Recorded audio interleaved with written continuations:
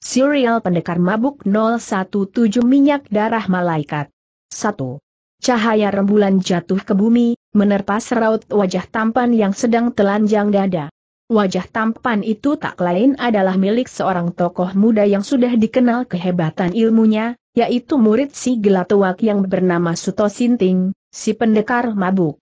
Hembusan angin dingin tidak dihiraukan oleh pendekar mabuk. Wajahnya pun tetap dingin berpejam mata, ia duduk di atas sebuah batu datar, bersila dan bertegak dada. Kedua tangannya yang ada di paha tiba-tiba mengencang, urat-uratnya tampak bertonjolan, itu pertanda Suto Sinting sedang mengerahkan tenaganya dengan tarikan napas panjang perlahan-lahan. Tangan itu bergerak naik ke dada keduanya. Gerakannya sangat pelan dan penuh getaran. Ketika kedua tangan itu sampai di dada, telapak tangannya saling merapat. Kedua telapak tangan itu seakan saling menekan kuat-kuat hingga getarannya bertambah nyata. Lalu tiba-tiba kedua telapak tangan itu disentakkan ke depan hingga kedua lengannya menjadi lurus. Sut. Maka dari ujung perpaduan telapak tangan itu melesatlah selarik sinar sebesar lidi berwarna ungu. Zlap. Sinar itu menghantam sebatang pohon besar. Jerubak. Sinar itu tembus ke batang pohon besar, bahkan pada pohon di belakangnya juga tembus, jerubak. Dan hingga empat pohon dalam satu barisan tertembus semua oleh sinar ungu sebesar lidi itu. Kelubik. Sinar itu pun padam setelah pendekar mabuk hembuskan napas dan kendorkan urat-uratnya. Jurus Surya Dewata ternyata masih kukuasai pikir pendekar mabuk. Berarti tenagaku tidak berkurang selama ini. Mungkin kekuatan tuak saktiku inilah yang menjaga keutuhan kekuatan tenaga dalamku. Jurus Surya Dewata pemberian bibih bidadari jalang tak akan kugunakan bila keadaan tidak sangat memaksa. Sebab, pesan bibih guru bidadari jalang memang aku harus menggunakan jurus ini jika lawan sudah tak mempan lagi dihantam dengan jurus-jurus lainnya. HMM, Sebaiknya ku coba ilmu ambang bayu pemberian kakek guru gila tuak. Apakah masih ada pada diriku atau sudah menipis karena jarang kulatih selama ini? Suto gerakan tangannya dari atas ke bawah sambil menghirup napas. Kemudian tangan itu melemas di samping, napas pun terlepas pelan-pelan. Kejap berikutnya, tangan sudah berada di dada. Yang kanan telapak tangannya berdiri tegak, yang kiri telapak tangannya menyangga pergelangan tangan kanan. Jika jurus yang dilatihnya tadi menggunakan kekuatan otot dan menahan napas kuat-kuat, kali ini keadaan Suto Sinting lebih kelihatan santai. Napasnya terhela dengan biasa, uratnya tidak mengeras. Matanya memandang redup ke depan. Dan tiba-tiba tubuhnya bergerak sendiri naik. Kakinya masih bersila, dan tangannya tetap di posisi dada.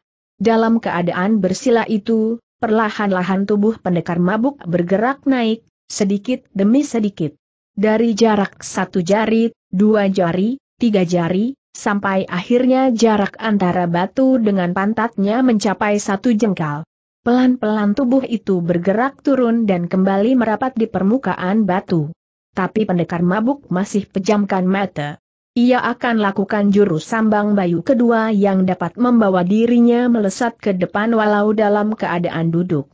Tetapi, tiba-tiba di depannya berkelebat sesosok bayangan yang melintas. Bayangan itu berhenti di kerimbunan semak, lalu kembali lagi dan berhenti di depan Suto. Orang itu berpakaian biru tua, usianya sekitar 40 tahun, mengenakan rompi rangkap warna kuning. Orang itu berambut pendek dan mempunyai senjata, cambuk yang melilit di pinggang. Cambuk itu ujungnya tepat berada di pusar, berbentuk logam bintang segi enam. Rupanya orang yang tadi berlari cepat itu tertarik melihat Suto sedang berlatih sendirian di tengah siraman cahaya sinar bulan purnama.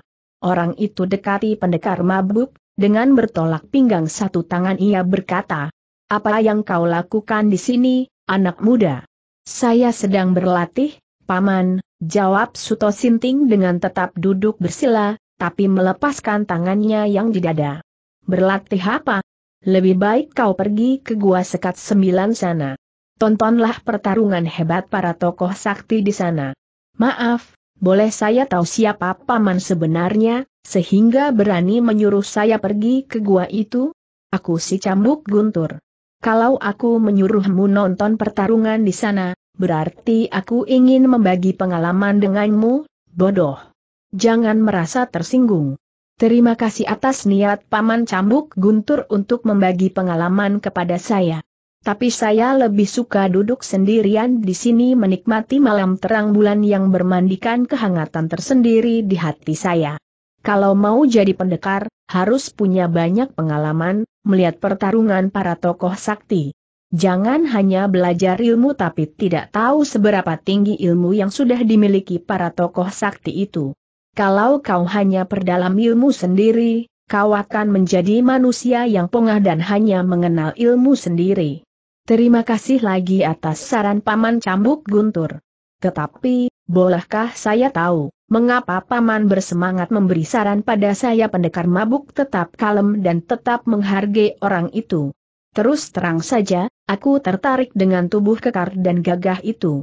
Menurutku kau bisa menjadi seorang pendekar perkasa dan berilmu tinggi. Tapi, ah, sudahlah, itu urusanmu sendiri. Mau jadi pendekar atau jadi tukang jualan telur asin, itu bukan urusanku. Kenapa aku jadi bodoh sendiri gerutunya sambil melangkah meninggalkan pendekar mabuk. Dan tiba-tiba cambuk guntur berkelebat lari dengan cepat setelah ia memandang ke arah belakang, dan seperti melihat sesuatu yang menakutkan. Pendekar mabuk, Suto Sinting itu, hanya tersenyum memandangi kepergian cambuk guntur, ia kembali ingin berlatih jurus sambang bayu kedua. Tetapi tak berapa lama kemudian, kembali ia didatangi seorang tokoh persilatan yang pernah dilihatnya dalam satu perjalanan pengembaraannya. Tokoh itu berhenti di depan Suto setelah menyadari bahwa ada orang duduk di atas batu dalam keadaan mengambang. Suto pun buru-buru menurunkan badannya, tak jadi melakukan latihan jurus sambang bayu kedua. Bau bangkai tercium, dan Suto Sinting menahannya, ia pernah mencium bau busuk seperti saat itu dan yang ditemuinya juga tokoh berpakaian kulit macan loreng. Rambutnya yang panjang diikat kain merah. Matanya lebar, alisnya tebal, kumisnya juga lebat.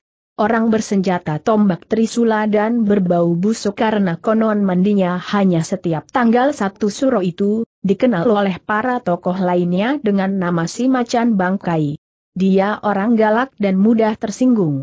Tapi pendekar mabuk belum pernah berselisih dengan orang bahkan baru sekarang Suto beradu muka untuk bicara. Hei, bocah hutan sapanya kepada Suto dengan seenaknya. Apakah kau melihat orang berpakaian biru lewat ini? Ya. Dia tadi lewat di depanku, jawab Suto seenaknya juga. Ke mana arah tujuannya, apakah kau tahu? Tidak. Yang ku tahu dia ke arah depan. Dia menyuruhku ke gua. Nonton pertarungan orang sakti. HMMM, pasti ke sana dia gumamnya. Kalau begitu, ku susul dia ke sana dan macan bangkai pun pergi secepatnya. Suto merasa heran, sedang apa mereka sebenarnya? Saling kejar-kejaran atau saling dulu-duluan? Cambuk Guntur menyebutkan sebuah gua. HMMM, gua apa tadi dia bilang? Aku, aku lupa. Tapi ada apa di gua itu? Mengapa mereka sepertinya saling berebut mencapai gua tersebut? Ah, jadi tertarik juga aku. Sebaiknya aku segera ke sana juga untuk melihat apa yang terjadi sebenarnya. Tapi, ke mana arahnya Suto berkerut dahi, pertimbangkan langkah. Langit malam tebarkan bintang dan rembulan di sudut mega.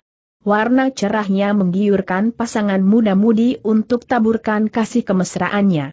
Bahkan pasangan tua berhati muda pun tak segan-segan lepaskan rayu dan canda menggelitik di sela-sela hati mereka. Mendadak kabut berjingkat dari celah bongkahan tanah perbukitan. Kabut tipis itu merayap makin menebal, lalu membungkus setiap celah tanah berdaun rumput. Bukit mulai diselimuti kabut. Langit sedikit dipula surona hitam awan. Rupanya tadi telah melesat cahaya hijau berekor. Cahaya hijau di langit itu bagaikan berudu terbang yang melintasi perbatasan langit bermegah hitam. Warna hijaunya terang dan mencolok mata para penghuni bumi. Wuut! Angin mulai menunjukkan keperkasaannya, hembusannya tiba-tiba saja menjadi cepat dan berat. Warna hijau cerah berekor panjang di langit bagai semakin dilemparkan dari sisi satu ke sisi lainnya.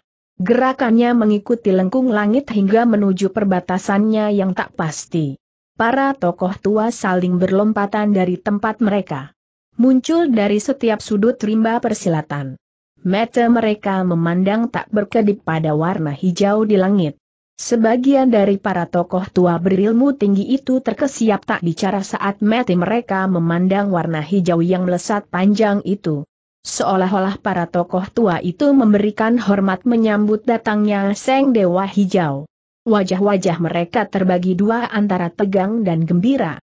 Sekalipun dari tempat yang berbeda dan berjauhan, namun hati mereka seakan serempak berkata, saatnya telah tiba. Harus segera bertindak sebelum terlambat. Di sisi lain, pada lereng perbukitan bertebing curam, dua sosok tua saling bertaruh nyawa dari pagi hingga petang, bahkan malam yang melintas sepi itu dibiarkannya. Seakan tiada waktu untuk menghentikan pertarungan mereka. Seakan tiada saat yang mampu menciptakan perdamaian, walau untuk dua tiga helaan napas. Dendam pribadi telah mengarang keras di hati dan jiwa mereka. Yang ada dalam keputusan naluri mereka hanya membunuh atau dibunuh. Tak peduli usia tua, semangat untuk menjatuhkan lawan masih meluap-luap dalam jiwa mereka. Blaar. Bruk. Sosok tua berjubah abu-abu sunggingkan senyum melihat lawannya jatuh akibat beradu telapak tangan bertenaga tinggi. Sekejap saja cahaya merah membara memercik dari adu telapak tangan tadi. Kejap berikut lawannya yang berkain merah itu tumbang dua tindak ke belakang. Tetapi orang yang tumbang itu cepat bangkit dari jatuhnya. Kini berdiri tegak dan tegar bagai tak pernah alami sentakan kuat sedikit pun. Lelaki berkain merah yang menutup dada kanan dengan membiarkan sebagian dada dan pundak kiri terbuka itu, mempunyai rambut panjang bergulung ke atas, warnanya abu-abu. Ia berbadan kurus dan bermata cekung. Tangannya masih menggenggam sebatang kayu penumbuk padi yang lazim disebut kalu. Warnanya hitam, tingginya sebatas ketiak. Kayu itu sering pula dijadikan tongkat olehnya, tapi sebetulnya alu itu adalah senjata andalannya. Itulah sebabnya orang bersenjata alu itu mempunyai julukan si alu amah. Sedangkan lawannya yang berjubah abu-abu itu bercelana kuning. Rambutnya abu-abu panjang sebatas punggung tak berikat kepala. Badannya agak gemuk, berwok dan kumisnya warna putih kelabu. Senjata kebanggaannya adalah tongkat berujung lengkung. Di dunia persilatan orang itu cukup dikenal, karena pernah menumbangkan tokoh sakti dari Mongolia. Orang itulah yang dikenal dengan nama Ki Cagar Nyawa. Perselisihannya dengan si Alu Amah merupakan persoalan kuno yang sampai setua itu belum tuntas. Usia mereka seimbang, sekitar 60 tahun, sementara persoalan yang mereka sedang selesaikan dengan beradu nyawa itu adalah persoalan semasa mereka berusia 25 tahun, Ki Cagar Nyawa pernah dituduh menghamili kekasih si Alu Amah. Sementara itu Ki Cagar Nyawa sendiri tidak merasa pernah berbuat tak senonoh dengan perempuan bernama Nyai Sukmi Gading. Repotnya perempuan itu tidak mau membuka rahasia tentang siapa lelaki yang telah menanamkan benih dalam rahimnya dan tak mau bertanggung jawab itu. Sampai akhirnya Nyai Sukmi Gading bunuh diri dan mati dengan sangat menyedihkan. Si Alu Amah tetap menuding Ki Cagar Nyawa sebagai penyebab kematian Nyai Sukmi Gading. Buat si Alu Amah, Nyai Sukmi Gading bukan hanya sebagai perempuan yang dicintai, melainkan juga sebagai perempuan yang dipuja dan dikagumi semenjak mereka berada dalam satu naungan perguruan yang sirna. Sebab itulah si Alu Amah sangat benci kepada Ki Cagar Nyawa. Kapan saja dan di mana saja mereka bertemu, pertarungan tak dapat dihindari lagi. Dan agaknya kali ini pertarungan mereka adalah pertarungan terakhir, sebab keduanya sudah sama-sama bosan hadapi hidup penuh bayangan dendam. Ki Cagar Nyawa sendiri sudah tak mau lagi diburu tuntutan berdarah. Kebenciannya kepada si Alu Amah membuatnya tak pernah merasakan ketenangan dalam hidup. Setiap mendengar nama si Alu, dada Ki Cagar Nyawa selalu merasakan sakit yang amat dalam. Karena pada saat ia mendengar nama si Alu Amah disebutkan orang, pada saat itulah terbayang wajah adik perempuannya yang dibunuh oleh si Alu Amah berdasarkan dendam salah alamat itu. Kali ini agaknya si Alu Aman benar-benar ingin dihabisi nyawanya. Ki Cagar Nyawa melepaskan jurus pukulan bangau nerakanya yang jarang dipakai itu. Sebuah sentakan tangan yang menguncut mengeluarkan cahaya biru yang menyala sekejap, lalu padam. Tapi sebenarnya nyala biru itu tetap melesat cepat ke arah lawan dan tak terlihat gerakannya. Jika si Alu Amah tidak menggunakan indera keenamnya, maka ia tak dapat melihat adanya sinar biru yang melesat ke arahnya. Cepat-cepat si Alu Amah putarkan alunya yang bergerak cepat bagaikan baling-baling di depan dadanya. Suara gerakan alu berputar cepat itu sempat bikin gendang telinga menjadi sakit. Wung! Jika Ki Cagar Nyawa tidak tinggi ilmunya, maka gendang telinga itu akan pecah mendengar suara gaung yang keras dan berkekuatan tenaga dalam. Dan ternyata suara gaung yang keras itu mampu menahan gerakan sinar biru yang tak terlihat. Sinar dan suara bertemu, maka timbullah ledakan dahsyat yang menggelegar. Blar, Si Alu Amah bagai kapas yang dilemparkan ke samping, ia terpental dan jatuh di bawah pohon berakar saling bertonjolan. Sedangkan Ki Cagar Nyawa juga terlempar bagaikan daun kering, lebih tinggi tubuhnya melayang dan jatuh tanpa bisa menjaga keseimbangan badannya. Bruk. Lalu cepat berdiri lagi. Kejap berikut Ki Cagar Nyawa sudah kembali siap hadapi lawan seolah-olah tidak mengalami sentakan apa pun. Sedangkan si Alu Amah sendiri sedikit lebih cepat berdiri tegap ketimbang Ki Cagar Nyawa. Keduanya saling berhadapan dalam jarak delapan langkah. Rupanya kau pamer ilmu barumu, Cagar Nyawa. Hektometer. Belum ada sekuku hitamnya dibanding dengan ilmuku si Alu Amah mencibir sinis dan dingin. Tetapi dalam hatinya, si Alu Amah membatin, kurang ajar. Rupanya dia telah kuasai jurus bangau neraka. Mestinya aku lebih dulu kuasai ilmu itu, tapi aku telat. Dari tempatnya berdiri memegang tongkat, si cagar nyawa ucapkan kata kepada si Alu Amah, juga dengan nada dingin dan sinis. Kalau kau punya ilmu lebih tinggi dariku, tentunya sudah sejak tadi siang kau bisa bunuh aku, Alu Amah. Tapi karena ilmumu masih di bawah telapak kakiku, maka sampai malam begini kau masih belum bisa tumbangkan aku. Padahal di dalam hati Ki Cagar nyawa membatin, sial betul. Dia makin tua makin tambah kekuatannya. Jurus bangau nerakaku bisa ditahannya dengan alu kipas naganya. Agaknya cukup sulit tumbangkan dia, tak seperti lawan-lawanku yang lainnya. Kemudian terdengar suara si alu amah lebih lantang lagi, cagar nyawa. Jangan sangka hanya kau yang punya jurus andalan aku pun punya jurus andalan yang sudah waktunya ku lepaskan untuk menjemput kematianmu. Terimalah jurus siluman kera api dariku. Haaah. Pada saat itulah sesuatu yang telah membuat para tokoh dunia persilatan tertegun sambil dongakan kepala ke langit, dialami pula oleh kedua tokoh sakti ini. Cahaya hijau berekor panjang melesat di langit atas kepala mereka.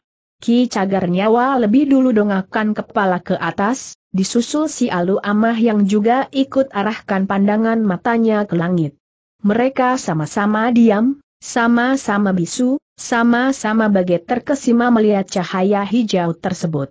Bahkan setelah cahaya hijau lenyap dari pandang mata mereka, keduanya sama-sama saling pandang dengan curah perhatian mulai sama-sama kabur. Kejap berikutnya terdengar suara si Alu Amah yang telah membatalkan memamerkan jurus baru andalannya, cagar nyawa. Malam ini kau patut bersyukur, karena aku masih punya tenggang rasa untuk tidak mencabut nyawamu secara terburu-buru. Ku beri kau kebebasan beberapa saat untuk menikmati sisa hidupmu yang sudah bau tanah ini. Karena aku harus segera pergi untuk selesaikan janji pertarunganku dengan tokoh lain yang lebih tinggi ilmunya dari ilmumu. Jangan tinggalkan tempatmu, Alu Amah sentak cagar nyawa, ia merasa kecewa jika pertarungan itu terhenti, tanpa tahu siapa yang mati. Namun agaknya Alu Amah punya rencana tersendiri. tanpa ucapkan kata apa pun lagi kecuali janji, kita pasti bertemu di lain kesempatan, maka Alu Amah pun sentakan kakinya dan melesat pergi tinggalkan pertarungannya. Alu Amah. Selesaikah dulu urusan pribadi kita ini sentaki cagar nyawa yang ingin melepaskan pukulan jarak jauhnya. Tapi pukulan itu tak jadi dilepaskan karena si Alu Amah cepat berkelebat pergi dan tak terjangkau oleh pandangan mata lagi. Hiyah ki cagar nyawa jengkel sendiri. Pukulannya akhirnya dilepaskan kepada sebatang pohon. Pukulan itu membuat pohon tersebut terpotong rapi menjadi lebih dari 30 potongan dalam sekali gerak. Kalau saja si Alu Amah melihat jurus yang terakhir ini, Ki Cagar Nyawa berani pastikan diri, si Alu Amah akan gentar dan takjub melihat kehebatan dan kedahsyatan jurus belut penebar maut itu. Kurang ajar. Dia lari begitu saja. Tapi aku yakin bukan karena takut padaku dia melarikan diri, tapi karena ada sesuatu yang dia ketahui dan harus dikerjakan. Ke mana larinya, aku tahu. Pasti menuju gua sekat sembilan. Ya, pasti tikus busuk itu menuju ke sana, karena dia tahu perlambang jatuhnya bintang hijau tadi. HMM. Rupanya bukan aku saja yang mengetahui perlambang dari bintang hijau yang jatuh tadi. Ada baiknya kalau kususul dia ke gua sekat sembilan dan bikin perhitungan baru di sana. Dua hutan bertanah kabut adalah tempat terdekat dengan gua sekat sembilan. Sedekat-dekatnya tempat itu, punya waktu perjalanan setengah hari untuk mencapai gua sekat sembilan. Tanah di hutan itu memang sering dibungkus kabut karena rembesan asap belerang sering muncul di sela-sela bongkahan tanahnya. Jadi bukan karena tempatnya tinggi, melainkan karena keadaan alam dari lapisan tanah tersebut. Kabut belerang putih menurut beberapa tokoh tua punya khasiat menyegarkan tubuh. Barangkali, karena itulah, Ki Canda Sedo membangun persinggahannya di hutan kaki bukit tersebut. Mungkin karena belerang putih berbentuk kabut itu pula yang membuat Ki Candak Sedo tetap segar dan bagus tubuhnya walau sudah berusia 85 tahun. Ki Candak Sedot pada masanya pernah merajai dunia persilatan untuk separuh tanah Jawa. Ia bukan orang rakus, ia bukan tokoh sesat, ia sering mengadakan pertemuan dengan si gila tuak, guru dari pendekar mabuk, Suto Sinting, yang namanya terdaftar di urutan paling atas sebagai tokoh tua yang sukar ditumbangkan. Pada masanya dulu, Ki Candak Sedo sering bertukar ilmu kaweruh hurip, yaitu sebuah ilmu pengetahuan tentang hidup dan kehidupan dengan si gila tuak. Bagi Candak Sedot, si gila tuak dianggap seperti kakaknya sendiri. Dan ia mendengar kabar bahwa si gila tuak sudah turunkan ilmunya kepada seorang murid sinting yang diangkat dari bocah tanpa pusar sejak si bocah berusia 8 tahun, bakal serial pendekar mabuk dalam episode bocah tanpa pusar. Candak Sedo pun kini telah mengangkat satu murid sejak berusia 10 tahun yang bernama Karangwesi. Di persinggahannya yang penuh damai tanpa pernah terjadi kericuhan itu, Ki Candak Sedo menurunkan ilmunya kepada Karangwesi, sebagai sarana menuju hidup sempurna dalam penyerahan diri kepada Hyang Widi. Karena dulu, guru dari Ki Candak Sedo pernah berpesan kepadanya, bahwa hidupnya tidak akan menjadi damai sebelum semua ilmu diturunkan kepada seorang murid pilihannya. Dan bahwa hidupnya tak akan menjadi bersih, sebelum ia bermandikan minyak darah malaikat. Menurut keterangan dari gurunya Ki Candak Sedot, hidup bersih dan menjadi pertapa suci bisa dicapai melalui dua tahapan itu, setelah menurunkan ilmu seluruhnya sebagai bekal bagi pewarisnya, lalu mandi minyak darah malaikat untuk melenyapkan ilmu-ilmu yang mengarang keras dalam jiwa raganya. Konon menurut sang guru, setiap manusia mempunyai kotoran batin yang tak pernah disadari telah menjadi keras bagaikan batu karang. Dan kotoran batin itu tidak bisa dihilangkan sebelum mandi minyak darah malaikat, untuk kemudian melakukan semadi menyepi sebagai langkah menuju pusat hubungan dengan Yang Maha Kuasa.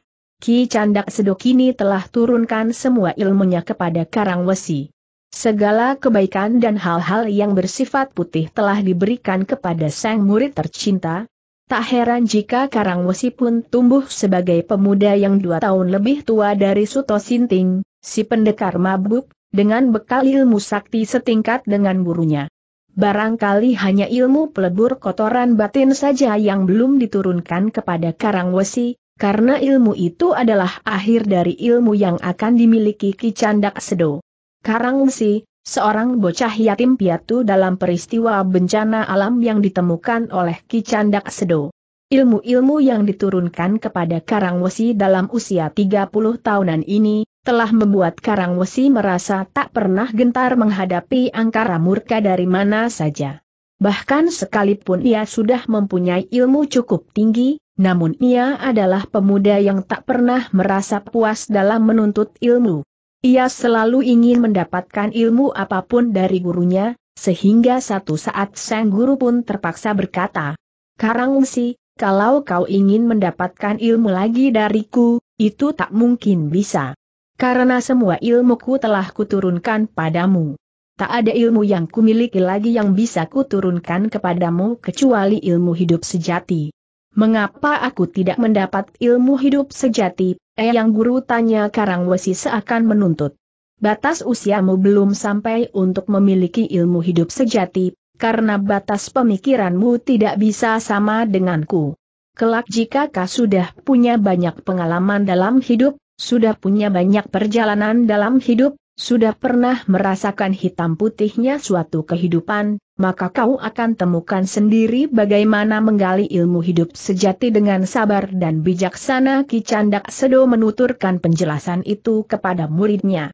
Lalu terdengar Karang Wesi berkata, apakah setelah aku bisa miliki ilmu hidup sejati, aku akan bisa hidup selamanya dan tak akan pernah mati, guru?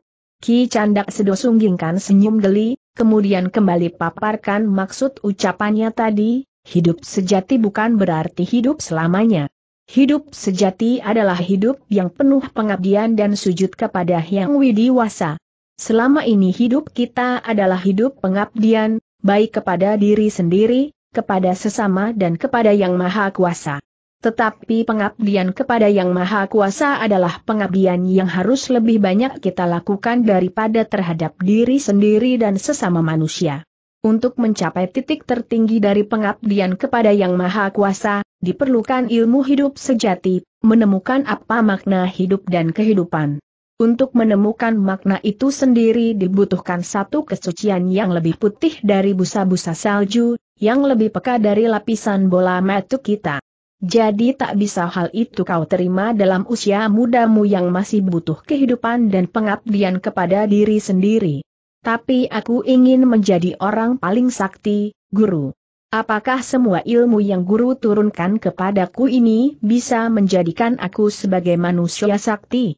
Karang wesi muridku kata Ki Canda Sedo dengan senyum kesabarannya, tidak ada orang paling sakti di dunia ini.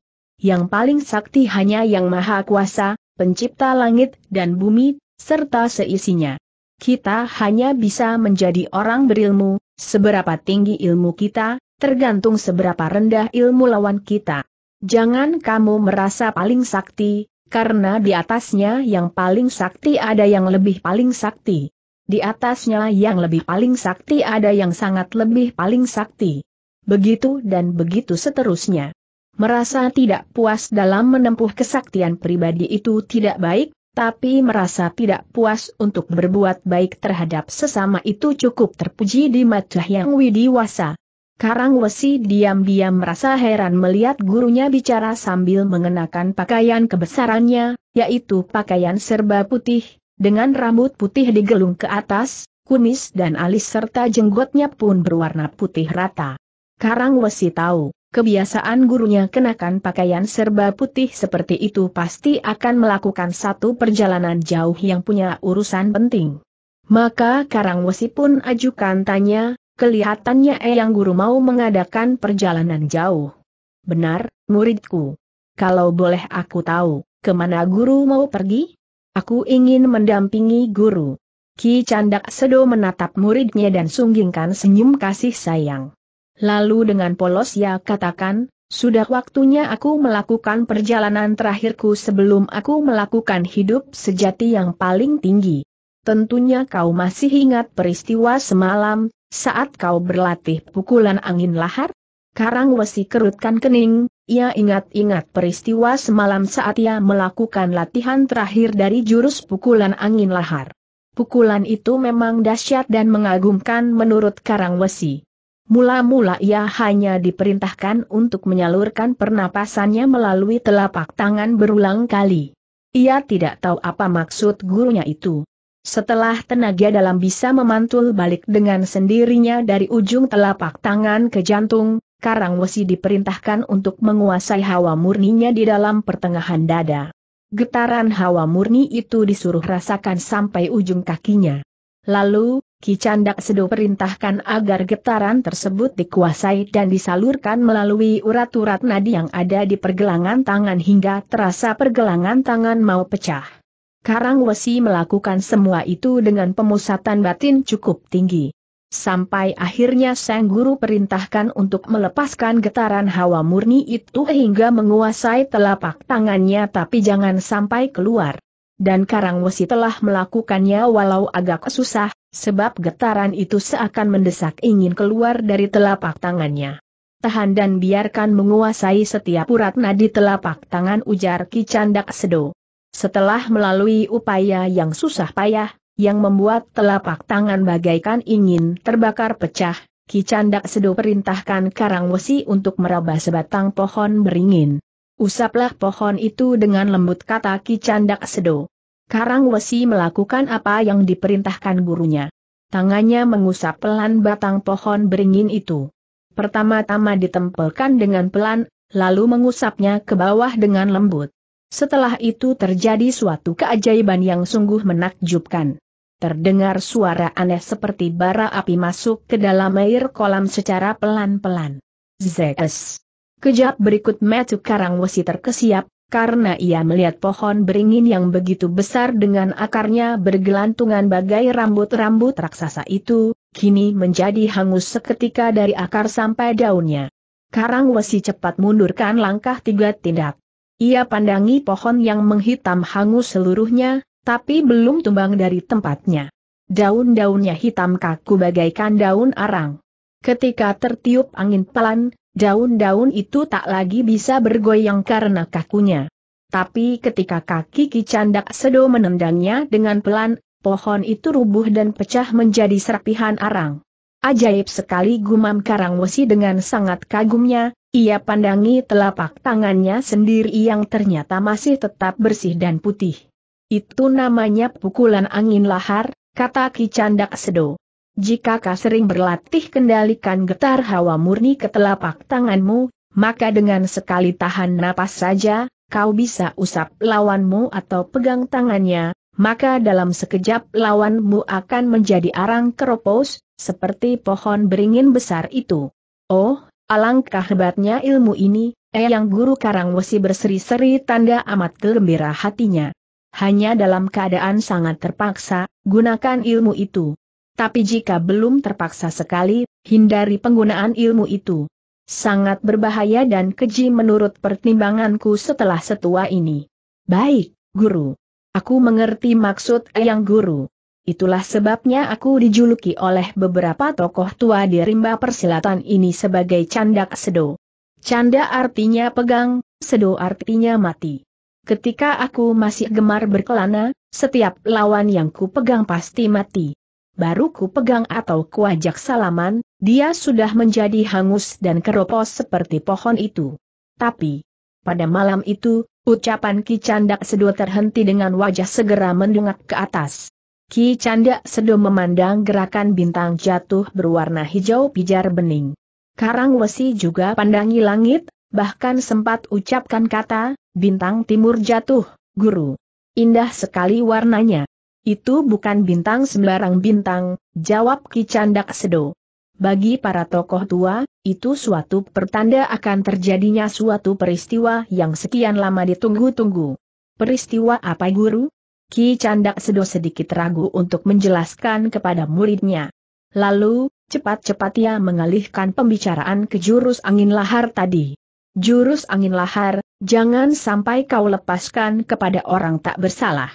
Karena jika kau lepaskan kepada orang tak bersalah, maka perbuatanmu itu adalah perbuatan keji yang tak patut menjadi murid candak sedo. pukulan angin lahar kuciptakan sendiri untuk menghadapi tokoh sesat yang sulit dibunuh. Ya, aku mengerti. Guru. Semua pesan dan nasihat guru, akan kujalankan. Bagus. Karena kulihat kau sudah terlalu letih, sebaiknya segeralah beristirahat, Karang Wesi. Baik, Guru Karang Wesi tunjukkan sikap penurut, sebagai murid patuh yang sangat menggembirakan hati gurunya. Itulah peristiwa yang dikenang Karangwesi sebelum sang guru melakukan perjalanannya. Bungkamnya mulut Karangwesi membuat sang guru memandang dengan senyum kebanggaan, lalu ajukan tanya pelan, sudah ingatkah kau dengan peristiwa tadi malam? Sudah, guru. Tadi malam saya mempelajari ilmu pukulan angin lahar. Bukan itu maksudku, Wesi. Kuingin kau mengingat tentang bintang jatuh warna hijau cerah berekor panjang itu. Oh, ya. Aku ingat, guru. Lantas, apa hubungannya dengan rencana kepergian guru ini? Ki Candak Sedo mendekati muridnya yang masih duduk, bahkan kini Candak Sedo ikut duduk di bangku sebelahnya, lalu ucapkan kata, bintang jatuh seperti itu, ada sembilan warna. Saat aku mengangkatmu menjadi murid yang pertama kali, Terjadi pula peristiwa bintang jatuh berwarna kuning terang. Dan itu adalah bintang yang ketujuh. Karang Wesi segera menjawab saat gurunya diam sejenak, seingatku, aku juga pernah melihat bintang jatuh tapi siang hari, warnanya hitam, seperti gugusan asap yang berkelebat cepat berekor panjang, guru. Ya, waktu itu kau berusia 20 tahun, dan bintang hitam yang jatuh di siang hari itu adalah bintang yang kedelapan. Sebelumnya ada bintang merah, biru, putih, ungu, jingga, dan nila. Sedangkan bintang hijau semalam itu adalah bintang jatuh yang kesembilan. Apa artinya, guru? Artinya, jika sudah ada sembilan bintang dengan sembilan warnanya masing-masing jatuh ke bumi, walau tak sampai menyentuh permukaan bumi, itu pertanda gua sekat sembilan mulai terbuka dengan sendirinya. Pintu gua itu tidak akan bisa dibuka dan didobrak dengan senjata apa pun, selain menunggu jatuhnya ke sembilan bintang. Karang Wesi sangat memperhatikan tiap ucapan guru karena ia sangat tertarik dengan misteri gua sekat sembilan. Lalu, ia mendesak gurunya dengan pertanyaan. Apa yang terjadi jika pintu gua sekat sembilan telah terbuka, guru? Apakah akan muncul seekor ular naga? Tidak, jawab Ki Candak Sedo sambil sunggingkan senyum. Saat ini, para tokoh tua yang tahu rahasia sembilan bintang pasti akan saling berebut untuk temukan gua sekat sembilan. Karena di dalam gua itu terdapat minyak darah malaikat. Minyak darah malaikat tanda seru. Maksud guru, minyak yang bisa meleburkan kotoran di batin kita yang selama ini telah menjadi karang pengganjal kesejatian hidup? Benar. Tapi para tokoh itu bermaksud memiliki minyak darah malaikat bukan untuk sekadar membersihkan kotoran batin, namun untuk menambah kesaktian dirinya. Karena barang siap paman di minyak keramat itu, maka tubuhnya akan menjadi kebal senjata apa pun dan tak bisa dihantam dengan ilmu tenaga dalam setinggi apa pun. Karang Wesi manggut-manggut. Oh, oh, begitu? Menurut dugaan guru, mereka pasti akan berebut minyak tersebut, guru. Benar. Tapi mereka belum tentu bisa temukan gua sekat sembilan. Mereka hanya tahu arahnya, tapi tidak tahu di mana letak gua itu secara persis. Ki Candak Sedo melangkahkan kaki sampai di depan gubuk persinggahannya, kemudian dari sana dia berkata sambil palingkan wajah kepada Karang Wesi, hanya akulah yang tahu letak gua itu. Sebab dulu guruku pernah bertapa di depan pintu gua itu, dan aku pernah diajaknya ke sana. Karena itu aku memilih tempat persinggahan di hutan ini, supaya jika saatnya tiba, pintu gua terbuka, jarakku dengan gua itu tidaklah jauh. Karang Wesi bangkit dengan wajah ceria, lalu ucapkan kata, kalau begitu kita berangkat sekarang ke sana, guru. Saya akan dampingi guru, sampai mendapatkan minyak darah malaikat itu, guru. Ki Candak Sedo kembali sunggingkan senyum bangga terhadap kesetiaan muridnya, kemudian ia ucapkan kata sambil mendekati Karang Wesi, kesetiaan dan kepatuhanmu selama ini adalah sesuatu yang menghibur hati tuaku, Karang Wesi. Ternyata aku tak salah pilih murid sambil pundak Karang Wesi ditepuk-tepuknya. Guru, jangan sanjung saya nanti bisa lupa diri. Tawa tua dari candak sedo terdengar pelan. Kemudian ia melangkah lebih dulu tinggalkan persinggahannya. Karang Wesi segera menyusul dan mendampingi gurunya. Langkahnya penuh semangat, bahkan berkesan tak sabar, ingin segera sampai di Gua Sekat Sembilan. Sambil melangkah, Candak sedot tuturkan kata kepada Karang Wesi. Genap sudah gua sekat sembilan tertutup rapat tak dijamah makhluk apa pun selama sembilan puluh tahun, karena jatuhnya bintang warna-warni itu hanya setiap sepuluh tahun sekali. Gua itu ada sebelum aku lahir, Karang Wesi. Siapa yang menaruh minyak darah malaikat di dalam gua itu? Guru tanya Karang Wesi. Goa Sekat Sembilan mempunyai kekuatan gaib yaitu dapat menyerap darah setiap pendekar sakti dari golongan putih. Walau hanya satu tetes darah, tapi pada saat tokoh sakti dari golongan putih mati, maka darahnya akan terserap ke dalam gua itu. Selama 90 tahun, gua itu menyerap satu tetes darah dari setiap pendekar golongan putih yang mati. Maka terkumpullah menjadi banyak. Dan konon, menurut cerita guruku sendiri darah itu sudah bukan merah lagi warnanya, sudah bukan amis lagi baunya. Darah itu berubah menjadi putih bening dan berbau harum. Darah itu ibarat zat kesaktian dari tokoh putih. Berarti minyak darah malaikat itu adalah kumpulan zat kesaktian dari sekian banyak zat yang ada pada diri tokoh sakti, guru. Benar. Sebab itulah minyak darah malaikat bisa menolak senjata setajam apa pun, dan bisa menolak kekuatan tenaga dalam setinggi apa pun jika dipakai mandi oleh seseorang. Dan pesan guruku adalah menurunkan ilmuku kepada seorang murid hingga tuntas, lalu bermandi minyak itu sekujur tubuhku, setelah itu baru aku bisa menjadi pertapa yang hanya mengabdi kepada Hyang Widiwasa, jauh dari duniawi, jauh dari keramaian, jauh dari nafsu angkara murka. Saya akan dampingi guru untuk mendapatkan minyak itu, kalau memang minyak itu adalah syarat yang dibutuhkan oleh guru. Terima kasih atas kesetiaanmu, Karang Wesi. Kuharap kau menjaga mulut gua selama aku masuk ke dalam dan mengambil minyak darah malaikat itu. Saya turut perintah, guru jawab Karang Wesi dengan tegas dan penuh kepatuhan yang mengagumkan buat Ki Candak Sedo tiga pendekar mabuk tidak bisa menemukan tempat yang disebutkan oleh cambuk guntur. Melacak pelarian cambuk guntur dengan si macan bangkai pun mengalami salah arah.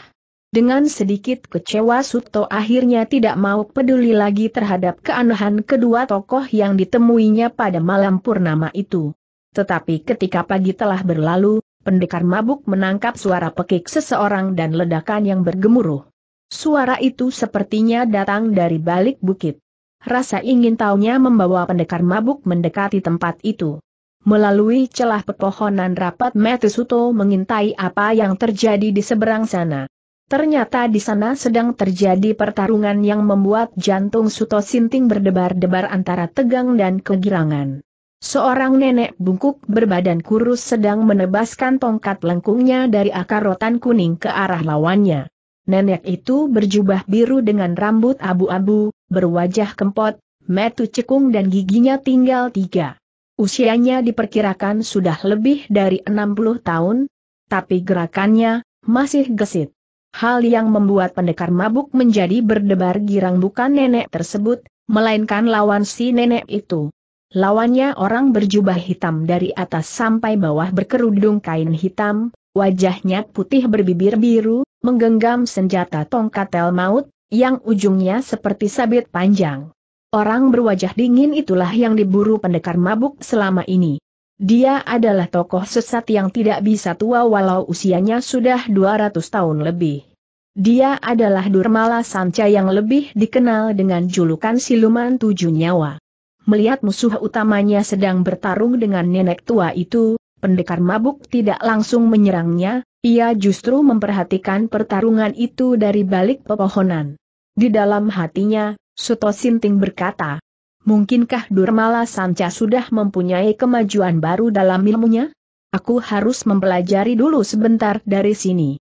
Jika aku langsung masuk ke pertarungan, barangkali hati nenek tua itu akan kecewa karena urusannya ku campuri. HMMM. Sebaiknya ku tunggu saja bagaimana akhir pertarungan itu. Tapi yang jelas, kali ini siluman tujuh nyawa tidak akan lolos dari incaranku. Nenek bungkuk berbadan kurus itu terpental saat ia melepaskan pukulan tenaga dalamnya bersinar kuning, karena oleh manusia berkerudung hitam itu pukulan kuningnya dihantam dengan sinar putih yang keluar dari ujung sabit panjangnya itu. Tapi agaknya si nenek masih bersemangat dan segera bangkit tanpa cedera apa pun. Kejap berikutnya terdengar suara Durmala Sangka berkata kepada nenek itu, Jangan harap kau bisa menang melawanku, Nyai Pungkur Maut. Sebaiknya urungkan saja niatmu membalas dendam atas kematian suamimu beberapa puluh tahun yang lalu. Aku tidak akan biarkan kau lolos lagi, manusia iblis. Apa pun yang terjadi, aku harus bisa membunuhmu sekarang juga. Karena baru sekarang kita bertemu lagi setelah sekian puluh tahun yang lalu kau membunuh suami dan anakku di depan mataku sendiri kala nenek yang ternyata bernama Nyai Bungkur Maut itu. Tidakkah kau sayang dengan sisa hidupmu yang tinggal beberapa hari ini? Sebaiknya jangan sia-siakan sisa hidupmu untuk memburuku, tapi gunakanlah untuk menyenangkan diri sebelum kau mati. Tutup mulutmu, iblis keparat bentak Nyai Bungkur Maut tak ada lagi kesenangan dalam hidupku sebelum aku bisa membalas kematian suami dan anakku. Tak ada lagi yang lebih berharga selain memenggal kepalamu dengan tongkatku ini. Hiaah! Nyai Pungkur Maut tampak menyentakkan tongkatnya ke depan dengan sentakan yang cukup kuat. Tangannya sampai lurus ke depan dan dari ujung tongkatnya itu keluar sekelebat sinar warna merah. Sinar itu menghantam dada siluman tujuh nyawa. Wut Zlap. Tapi tangan kiri Durmala Sanca yang tidak memegang tongkat el maut itu menghadang di depan dada. Sinar merah itu membentur telapak tangan yang sudah membara kuning kemerahan itu. Duar. Meledaklah benturan sinar merahnya Nyai Pungkur Maut dengan telapak tangan siluman tujuh nyawa. Lalu dua jari tangan itu bergerak cepat menghentak ke depan dan keluarlah sinar merah berkelok-kelok bagai akar serabut dari percikan api yang membara. Zap! Kumpulan sinar merah berkelok-kelok itu menghantam dada Nyai Pungkur Maut dan tak dapat dihindari lagi karena kecepatan loncatnya luar biasa. Jeras! Sinar merah itu masuk ke dalam dada dan membuat tubuh Nyai Pungkur Maut terpental hingga empat tombak jauhnya. Tubuh Nyai Pungkur Maut tersandar di bawah pohon dalam keadaan berasap. Matanya yang cekung itu mendelik dan lehernya bergerak-gerak dengan kepala terdongak Sepertinya sukar bernapas. Siluman tujuh nyawa segera berkelebat mengayunkan tongkat bergagang panjang yang ujungnya mempunyai sabit lengkung panjang itu. Sabit itulah yang akan dihantamkan ke dadanya pungkur maut. Tetapi ketika tubuh Durmala Sanca melompat, pendekar mabuk segera melepaskan pukulan jarak jauhnya dan tepat mengenai punggung Durmala Sanca dengan telak sekali. Wut! Buh! Tubuh yang terbungkus kain hitam dari kepala sampai kaki itu terlempar ke samping dengan sangat kerasnya. Andai tidak ada pohon besar, maka tubuh itu akan terlempar sangat jauh dari tempat Nyai Bungkur maut terkapar. Dengan gerak siluman yang cepatnya luar biasa itu, pendekar mabuk melesat ke arna pertempuran tersebut. Zlap! Pendekar mabuk segera mengambil bumbung tuaknya dari punggung. Melihat kepalanya Pungkur Maut terdongak dengan mulut ternganga mencari napas, Suto segera mengucurkan tuaknya ke dalam mulut nenek itu. Tuak tertelan dan asap yang mengepul dari tubuh Nyai Pungkur Maut pun menjadi reda. Kejap berikutnya, Nyai Pungkur Maut kembali bisa bernapas dengan lega. Tetapi pada saat itu, siluman tujuh nyawa sudah siap melepaskan serangannya ke arah pendekar mabuk. Dengan cepat pendekar mabuk balikan badan dan menghadap ke arah Durmala Sanca. Matanya memandang tajam ketika Durmala Sanca berkata dengan nada datar dan dingin, sedingin wajahnya yang tak pernah tersenyum ataupun menyeringai kesakitan itu. Apa urusanmu mencampuri urusanku, pendekar mabuk? Kita punya urusan pribadi yang harus segera dituntaskan kata Suto sambil melangkah ke samping dan memegangi tali bumbung tuaknya. Dan jangan coba-coba melarikan diri lagi kau, Durmala Samca. Aku tak pernah lari dari jiwamu. Kalau aku lari itu lantaran aku harus menunda pertarungan kita untuk sesaat, karena banyaknya urusan yang harus kulakukan. Baik. Ku terima alasan apa pun yang kau ucapkan, Durmala Samca. Tetapi kali ini kau tak akan bisa lari lagi dari hadapanku. Sudah waktunya kematianmu tiba, dan orang sesat masuk neraka. Tak keberatan aku melayanimu, Suto. Tapi minggirlah dulu, biar ku selesaikan dulu urusanku dengan Nyai Pungkur Maut itu. Aku tak ingin seseorang menjadi gila karena tak bisa membunuhku. Urusan nenek itu akan kuwakili. Oh, baik kalau begitu. Wut. Tiba-tiba Durmala Sanca sentakan telapak tangannya ke depan, dan Suto Sinting pun juga sentakan telapak tangannya ke depan. Mereka saling adu kekuatan tenaga dalam dengan badan sedikit merendah. Trat-trat tar, tar. Berar, cem. Dua sinar berkelok-kelok bagaikan petir saling sambar di pertengahan jarak. Dari tangan Durmala Sanca keluar sinar hijau, dari tangan pendekar mabuk keluar sinar merahnya. Dua sinar yang berkelok-kelok itu bagaikan sepasang naga yang beradu saling lilit di pertengahan jarak mereka. Loncatan bunga api dan ledakan kecil terjadi beberapa kali. Agaknya keduanya sama kuat. Durmala Sanca gemetar sekujur tubuhnya, dan keadaan berdirinya semakin merendah. Sedangkan pendekar mabuk masih tampak tegak dan tegar walau tangannya itu mulai mengucurkan keringat dan gemetar. Sinar merahnya masih berlompatan dari telapak tangannya, menghantam sinar hijau dari telapak tangan lawan. Nyai Pungkur Maut merasa heran melihat penampilan anak muda yang menggenggam tali bumbung tuak itu. Ia merasa belum pernah mengenal anak muda yang berwajah tampan itu. Tetapi ia sudah merasakan kehebatan ilmunya, terutama ilmu tuak saktinya itu yang dapat membuat tubuh Nyai Pungkur Maut menjadi segar. Padahal menurut perkiraannya, ia akan mati karena terkena pukulan maut dari Durmala Sanca. Melihat keadaan siluman tujuh nyawa terdesak dan sedikit kewalahan menahan serangan tenaga dalam pendekar mabuk, Nyai Pungkur Maut menggunakan kesempatan untuk menyerang siluman tujuh nyawa, ia segera melompat dengan tongkatnya ditebaskan ke leher siluman tujuh nyawa dalam gerakan cepat. Haaah. Wut. Trak. Duar. Tongkat itu ditangkis dengan ujung tongkatnya siluman tujuh nyawa, sementara tangannya masih menahan pukulan tenaga dalam suto. Tongkat Nyai Pungkur Maut terpental lepas dari tangannya, dan tiba-tiba tubuhnya tersodok bagian bawah dari tongkat El Maut itu. Duh! Uh, Nyai Nyai Pungkur Maut tersentak dan terpekik, tubuhnya kembali terlempar dalam jarak antara tiga tombak. Pendekar mabuk segera kibaskan bumbung tuaknya ke arah siluman tujuh nyawa. Bumbung tuak yang berkelebat itu ditangkis dengan tongkat el maut. Blar! Ledakan dahsyat terjadi akibat benturan dua benda tersebut dan mereka berdua sama-sama terpental. Sinar dari telapak tangan padam. Pendekar mabuk tersentak mundur tiga langkah, sedangkan siluman tujuh nyawa terpental ke belakang kira-kira empat tombak jauhnya, ia hampir saja jatuh terkapar.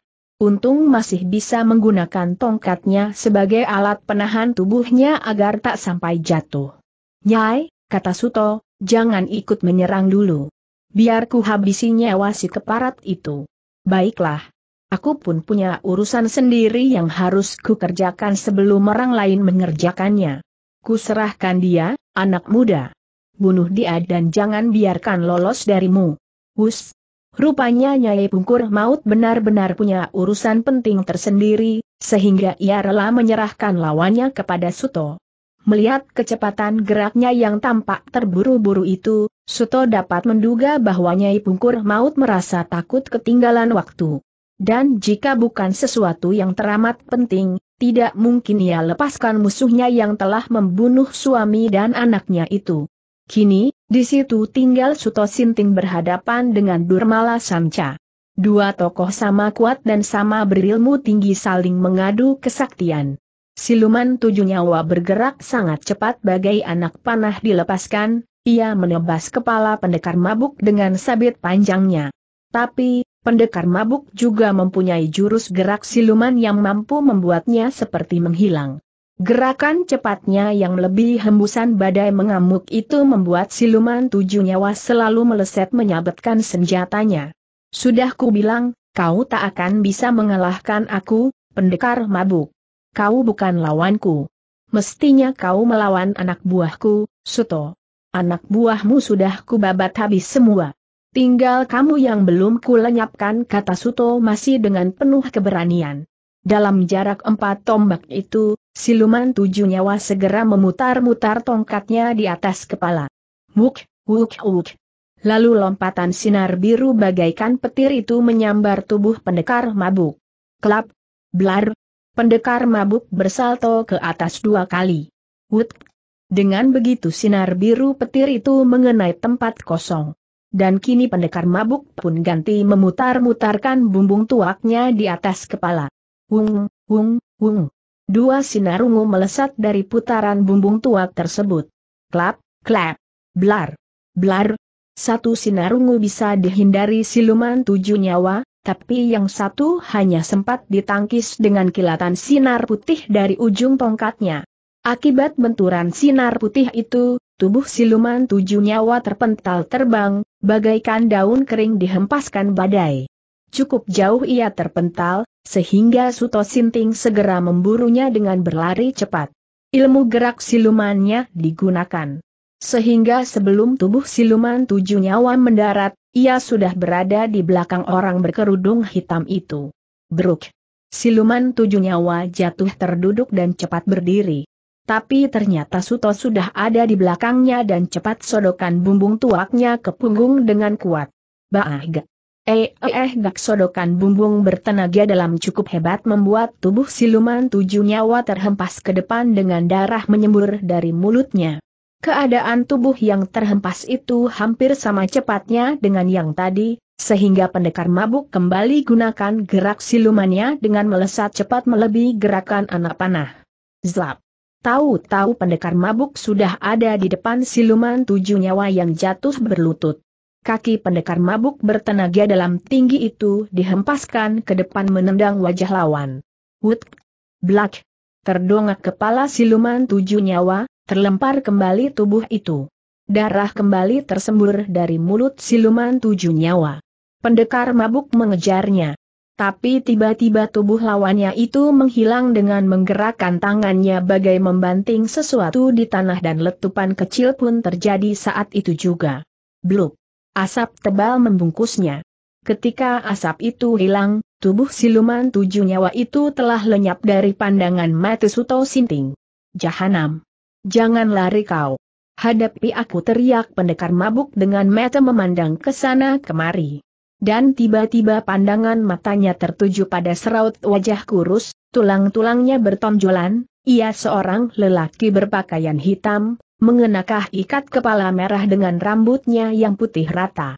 Kumisnya juga berwarna putih, serupa dengan jenggotnya yang panjang, ia membawa tongkat pula sebagai pemandu, langkahnya yang sudah terbungkuk-bungkuk dan gemetaran jika berjalan. Usianya sekitar hampir 100 tahun, Matanya sipit, seakan sudah tak mampu lagi untuk dibuka kelopaknya. Kakek tua yang kulitnya sudah keriting dan tinggal tulang dibungkus kulit, itu berjalan mau melintasi pendekar mabuk.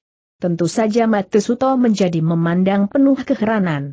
Orang ini agaknya orang sakti katanya dalam hati, sebab memang tahu-tahu dia muncul di situ dan memandangi Suto dalam langkahnya yang terhuyung-huyung itu.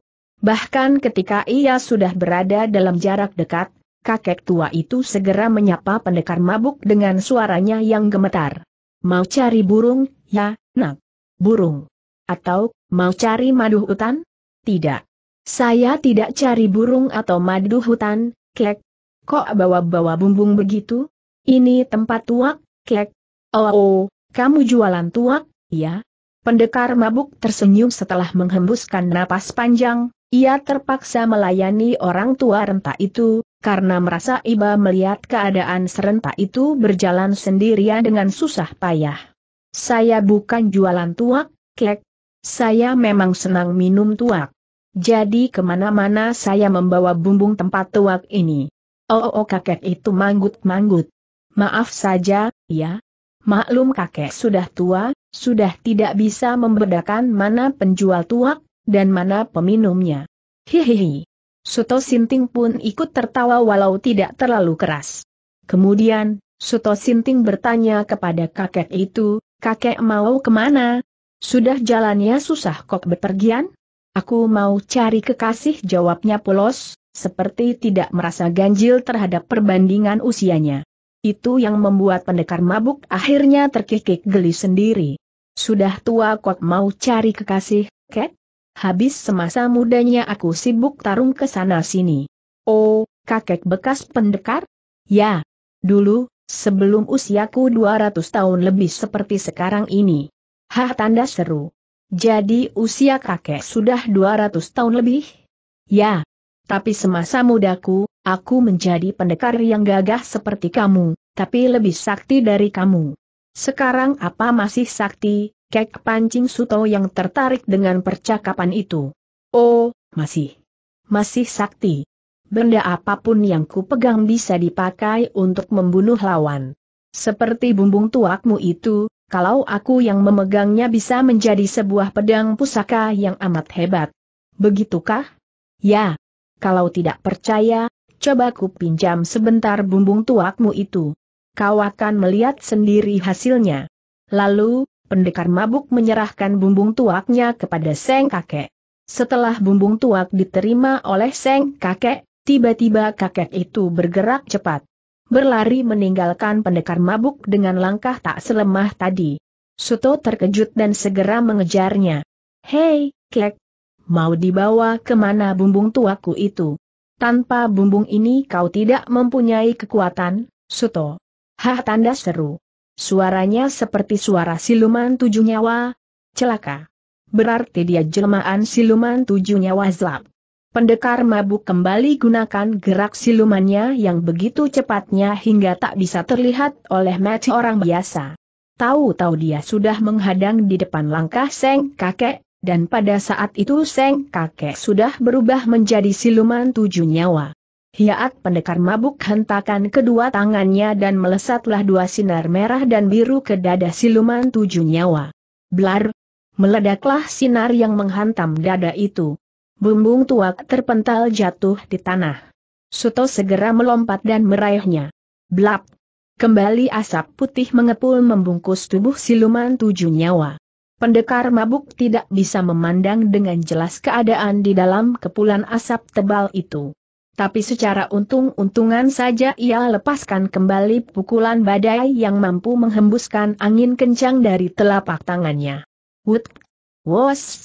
kabut berupa asap tebal itu lenyap seketika, tapi siluman tujuh nyawa tidak ada di situ. Hanya saja, Metesuto sempat melihat sosok bayangan hitam lari mendaki bukit di seberang jauh sana. Setan kurap. Dia kabur ke bukit itu. Akan ku kejar dia zelap. Pendekar mabuk pun mengejar lawannya kembali dengan geram kemarahan atas dirinya yang hampir saja tertipu dan kehilangan bumbung tuaknya. Empat letak gua sekat sembilan ada di balik kerimbunan tanaman rambat yang melekat pada dinding tebing tak seberapa tinggi. Di depan gua itu mempunyai tanah datar kira-kira 20 langkah lebarnya dan 30 langkah panjang ke depannya, lewat dari itu adalah jurang yang amat dalam. Mirip sebuah jurang tanpa dasar. Di tanah datar bertanaman rumput pendek itu terdapat banyak pohon menjulang tinggi, menyerupai tanaman pohon pinus yang mempunyai cabang dan dahan besar-besar. Jarak dahan satu dengan yang lainnya jauh-jauh. Ada juga pohon sejenis mahoni yang tumbuh di situ dengan daunnya yang berwarna kuning rata itu. Pohon jati merah adalah sebagai ciri atau tanda adanya gua sekat sembilan. Hanya ada satu pohon jati berdaun merah menyala itu. Konon, guru dari Ki Canda Sedo yang menanam pohon tersebut ketika pintu gua belum tertutup, ketika baru satu bintang yang jatuh ke bumi, yaitu bintang yang berwarna merah. Ki Canda Sedo diam sebentar di bawah pohon jati berdaun merah terang itu. Agaknya ia sempat mengenang tanaman itu kala ia datang bersama gurunya ke situ, di mana tanaman pohon jati merah masih belum setinggi dan sebesar sekarang. Ia sempat berkata kepada muridnya, di sini, banyak tanaman aneh yang langka tidak terdapat di hutan lainnya. Seperti pohon beringin biru yang ada di sebelah sana. Karang Wesi memandang ke arah yang ditunjuk gurunya. Ternyata memang benar, di sebelah sana terdapat pohon beringin biru dari daun sampai kulit kayunya. Bahkan Karang Wesi juga melihat pohon kenari kuning seluruh daun dan batangnya. Tak heran jika hutan di situ disimpulkan sebagai hutan hias yang punya keindahan tersendiri. Sebenarnya pemandangan di sini menyenangkan, guru.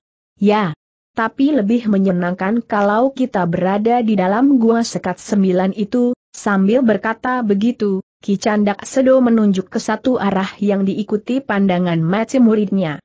Karang Wesi melihat sebuah mulut gua yang tak seberapa tinggi dan tak seberapa lebar. Tingginya hanya dua tombak lebih sedikit, lebarnya tak sampai dua tombak. Sebuah lempengan batu seperti cadas putih melekat di samping mulut gua dalam keadaan berlumut. Lempengan batu itulah yang menurut Ki Candak Sedo adalah pintu penutup gua. Batu ini tadi malam bergeser membuka sendiri, tambah Ki Candak Sedo. Tak seorang pun bisa melihat pergeseran batu ini saat membuka pintu gua batu ini akan bergeser menutup sendiri apabila telah satu purnama dalam keadaan membuka begini. Karang Wesi manggut-manggut. Ia segera pandangi keadaan di dalam gua yang gelap itu. Sepertinya sebuah lorong yang sempit dan tak berpenerangan sedikit pun itu mengundang gairah siapa pun untuk masuk ke dalamnya.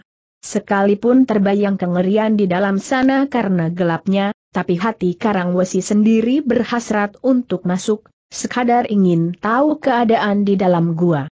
Karang si, sepintas memang kelihatan keadaan di dalam gua ini menyeramkan dan gelap, tapi menurut guruku dulu, gua ini mempunyai lorong yang membelok ke kiri dan membawa kita ke arah sebuah ruangan.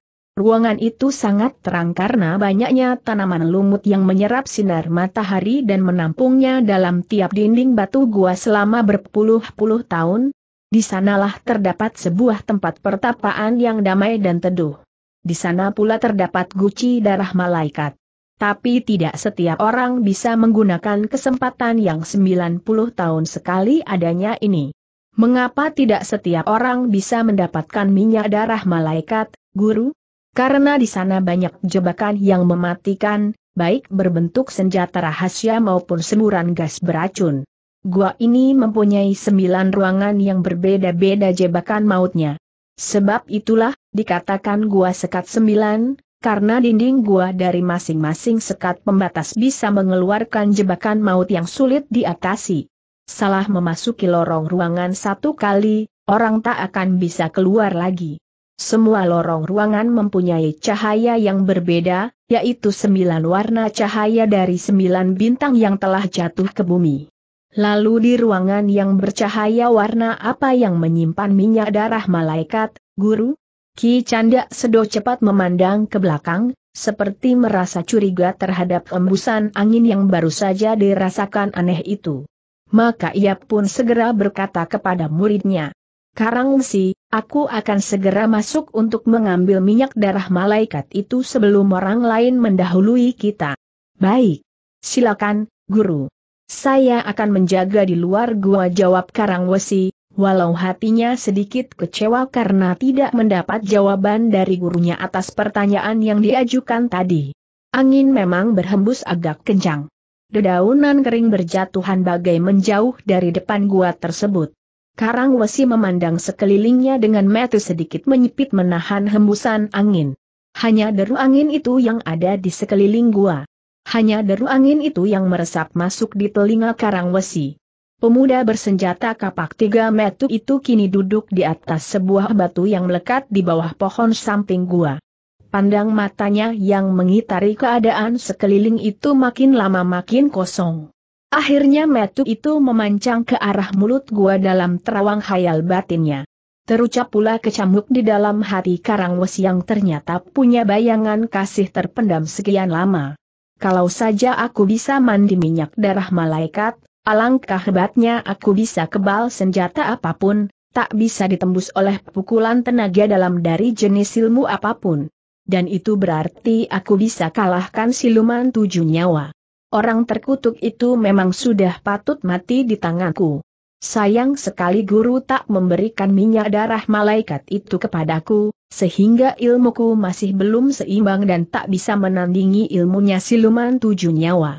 Ah!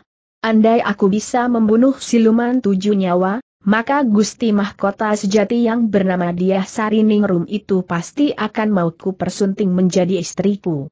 Oh, betapa cantik dan mempesonanya perempuan itu. Sungguh tak pernah akan bosan aku memandanginya sepanjang hari sambil memangkunya dengan mesra. HMMM. Rasa-rasanya tak ada ruginya aku mengabdikan hidup dan matiku untuk perempuan secantik dia Sariningrum itu. Seraut wajah wanita cantik yang anggun dan bijaksana serta berharisma tinggi itu menyelinap di relung hati Karangwesi. Perempuan itu adalah seorang ratu, penguasa Pulau Serindu, di mana di pulau itu terdapat negeri yang bernama Puri Gerbang Surgawi. Dia Sariningrum adalah putri dari Gusti Ratu Kartika Wangi, yang menjadi penguasa di negeri alam gaib, yang bernama Puri Gerbang Surgawi pula. Karang Wesi mendapat kesempatan bertatap muka dengan perempuan anggun dan sangat menawan hati itu, ketika ia ikut Ki Candak Sedo berkunjung ke Pulau Serindu. Kunjungan Ki Candak Sedo ke negeri Puri Gerbang Surgawi di Pulau Serindu itu bukan sekadar bertandang atau tersesat dalam perjalanan, tetapi karena dimintai bantuan oleh kakak dari Diah Sariningrum, yaitu Betari Ayu, yang sekarang menjadi bertapa di Gunung Kundalini. Pada waktu itu, Diah Sariningrum menderita sakit akibat pukulan Chandra Badar dari siluman tujuh nyawa, bakal serial pendekar mabuk dalam episode Manusia Seribu Wajah dan Praharap Pulau Mayat. Ki Canda Sedo datang ke sana dengan maksud mengobati pukulan Chandra Badar. Tetapi ia tak berhasil. Bahkan sampai saat ini, Ki Canda Sedo maupun Karangwesi belum mengetahui bahwa seseorang telah sembuhkan penyakit Ratu Ayu itu. Orang yang berhasil menyembuhkan dan melenyapkan pukulan Chandra Badar adalah murid si Gelatuak dari Jurang Lindu, yaitu Suto Sinting, si pendekar mabuk. Bahkan Ki Canda Sedo maupun Karangwesi agaknya juga belum tahu, bahwa dia Sariningrum adalah kekasih dan calon istrinya Suto. Hanya saja pernikahan mereka belum sempat terjadi karena pendekar mabuk masih harus memburu musuh besarnya, yaitu siluman tujuh nyawa, ia harus memenggal kepala siluman tujuh nyawa sebagai mas kawin untuk melamar dia Sariningrum. Padahal tanpa penggalan kepala tokoh sesat yang amat jahat itu, sebenarnya dia Sariningrum tidak keberatan melangsungkan perkawinannya dengan Suto Sinting. Namun penggalan kepala siluman itu bagaikan sebuah ikrar dan janji Suto untuk selamatkan kehidupan di permukaan bumi sebelum ia menginjak ke masa perkawinannya. Sebab jika siluman tujuh nyawa masih berkeliaran di mana-mana, maka permukaan bumi ini akan menjadi bara api neraka, kehidupan menjadi saling baku hantam tak ada perdamaian. Dan kehidupan seperti itu jelas akan mengancam kelangsungan hidup keturunan pendekar mabuk dan dia Sariningrum nantinya. Tanpa mau tahu siapa kekasih dia Sariningrum, Pemuda tampan berkumis tipis ini makin jauh melantur dalam hayalannya tentang perasaan cinta dan kagumnya terhadap perempuan itu. Bahkan dalam hatinya ia membatin kata, harus kutundukkan siluman tujuh nyawa itu agar aku bisa memiliki dia Sariningrum. Siapa pun akan kubunuh jika ingin merebut dia Sariningrum dari hatiku. Dan untuk menundukkan mereka, sudah tentu tidak cukup dengan ilmu yang kumiliki sekarang ini. Siluman tujuh nyawa dapat mengalahkan aku dengan kehebatan gerak tongkat maut itu. Jadi, kurasa ada baiknya jika aku merebut minyak darah malaikat dari Eyang Guru. Kalau aku hanya memintanya saja, biar sampai merengek-rengek pasti tak akan diberikannya. Jadi aku harus merebutnya dari tangan guru dengan care apa pun. Mendadak Karang Wesi sentakan kaki ke tanah dan melesat terbang, karena sekilas cahaya putih mengkilap terlihat oleh ekor matanya sedang menyerang ke arahnya. Wut! Krak! Sebuah senjata kecil berbentuk tusuk konde menancap di batu tempat Karang Wesi duduk. Batu itu kepulkan asap putih kebiruan dan menjadi serbuk sedikit demi sedikit. Serbuk itu dihembus angin sehingga makin lama batu itu menjadi habis sebagai terkikis waktu. Kilatan tusuk konde putih mengkilap dari bahan baja itu datang dari arah kanan Karangwesi. Maka secepatnya Karangwesi pandangi keadaan sekeliling hutan di sebelah kanannya. Ternyata tak jauh dari pohon beringin biru itu telah berdiri seorang nenek bongkok berjubah biru. Rambutnya abu-abu, usianya sepertinya lebih tua dari Ki Candak Sedo. Selain bongkok juga berbadan kurus, metu cekung dan giginya tinggal tiga. Ia bersenjata tongkat pendek lengkung dari rotan kuning. Karang Wesi segera dapat mengenali perempuan kempot itu, yang dulu pernah tiga kali bertandang ke persinggahan Ki Candak Sedot, untuk membicarakan satu masalah yang tak diketahui Karang Wesi nenek itulah yang bernama Nyai Pungkur Maut. Kali ini bukan Karang Wesi yang menghampiri Nyai Pungkur Maut, tapi nenek itu yang mendekati Karang Wesi, sebab Karang Wesi sekarang sudah berdiri di depan pintu masuk gua. Nyai Pungkur Maut segera ucapkan kata dengan suara tuanya yang kecil dan serak itu. Apa yang kau lakukan di sini, Karang Wesi? Apa pun yang kulakukan itu bukan urusanmu, Nyai Pungkur Maut, jawab Karangwesi sengaja tak ramah, karena ia merasa nenek yang baru datang itu bermaksud tidak baik. Serangannya yang dapat dihindari Karangwesi itu bukan sapaan yang ramah. Jelas nenek itu punya maksud ingin membunuh Karangwesi. Sebab itulah Karangwesi tidak mau bersikap ramah kepada Nyai Pungkur Maut. Hei hei hei hei. Aku tahu, Pasti Ki Candak Sedo sudah masuk ke dalam gua itu, Karang Wesi. Itu pun bukan urusanmu, Nyai Pungkur Maut. Tak sepatutnya kau datang dan menyerangku dengan care begitu kata pemuda tampan berkumis tipis itu. Jika kau ingin selamat, minggir dari tempatmu. Aku akan masuk ke dalam gua untuk mengambil minyak darah malaikat. Berdebar hati Karang Wesi ketika Nyai Pungkur Maut menyebutkan minyak itu. Karang Wesi segera pandangi nenek bungkuk itu dengan mata tajam. Tiap gerakannya tak lepas dari pandangan mata Karang Wesi. Orang ini sangat membahayakan, pikir Karang Wesi. Dia termasuk tokoh tua yang berilmu tinggi. Guru pernah menceritakan tentang Nyai Bungkur Maut padaku, yang konon jika bertarung selalu membelakangi lawannya. Dan jika ia sudah membelakangi lawannya, itu pertanda jurus-jurus mautnya siap dilepaskan. Aku harus hati-hati dalam berhadapan dengannya. Suaranya Pungkur Maut memekik keras, bocah budek. Ku bilang minggirlah dari tempatmu, aku akan masuk. Tak seorang pun kuizinkan masuk gua ini, Nyai. Apa ini gua milik nenek moyangmu? Sejak kapan nenek moyangmu membeli gua ini, sehingga kau berani-beraninya melarangku masuk ke dalamnya, hah? cepat menyingkir dari tempatmu. Kau yang harus tinggalkan tempat ini. Bocah goblok. Jangan bikin kesabaranku habis, nak. Nanti kau bisa kehilangan nyawamu geramnya pungkur maut. Kurasa akan terjadi kebalikannya, Nyai. Nyawamu sendiri yang akan hilang jika tidak segera pergi dari hadapanku, Nyai. Bocah bangsat. Hiaat serta mertanya Nyai pungkur maut sentakan tongkat rotannya lurus ke depan. Dari ujung tongkat itu melesat jarum hitam lebih dari 50 jumlahnya. Karang Wesi segera sentakan tangannya, dan keluarlah asap merah bergulung-gulung. Asap merah itu membungkus puluhan jarum beracun. Lalu terdengar ledakan teredam, blap, jarum-jarum itu pecah, asap merah seperti yang dimiliki Ki Candak Sedo itu mulai menipis dan hilang dihembus angin. Kau benar-benar menantangku jika sudah berani menggunakan jurus kabut berdarah itu, Karang Wesi. Haaah. Nyai Pungkur maut tak kelihatan sentakan kakinya ke tanah, tapi tahu-tahu tubuhnya telah melayang cepat ke arah Karang Wesi. Tongkatnya dikibaskan ke leher Karang Wesi. Wut! Karang Wesi merundukkan kepala, dan tongkat itu mengenai sebongkah batu. Prak! batu pecah menjadi puluhan bagian kecil-kecil. Karang Wesi cepat mencabut kapaknya, lalu dengan satu pekikan keras ia pun menyerang Nyai Pungkur Maut. Hiaat! Wut wut wut! Tiga kali Karang Wesi mengibaskan kapaknya ke arah dada dan pundak Nyai Pungkur Maut.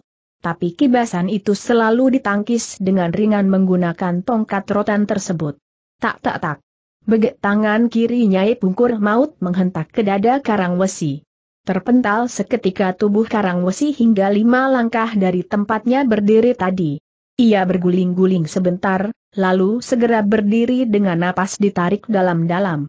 Suatu penyembuhan terhadap luka dalam telah dilakukan dengan cepat oleh Karang Wesi, Caranya dengan hanya menarik napas dalam-dalam, menyalurkan hawa murninya ke bagian yang terasa sakit.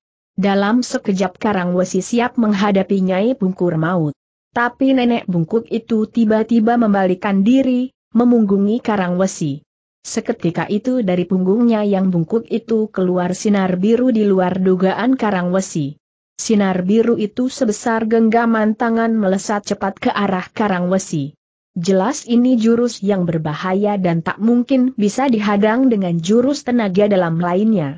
Maka, Karang Wesi pun segera lompatkan diri menghindari sinar biru itu.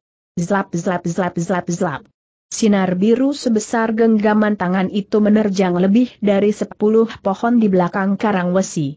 Pohon itu lenyap tak berbekas sedikit pun bagai ditelan bumi kurang dari dua kejap lebih dari sepuluh pohon yang lenyap dihantam sinar biru besar dari punggung Nyai Pungkur Maut.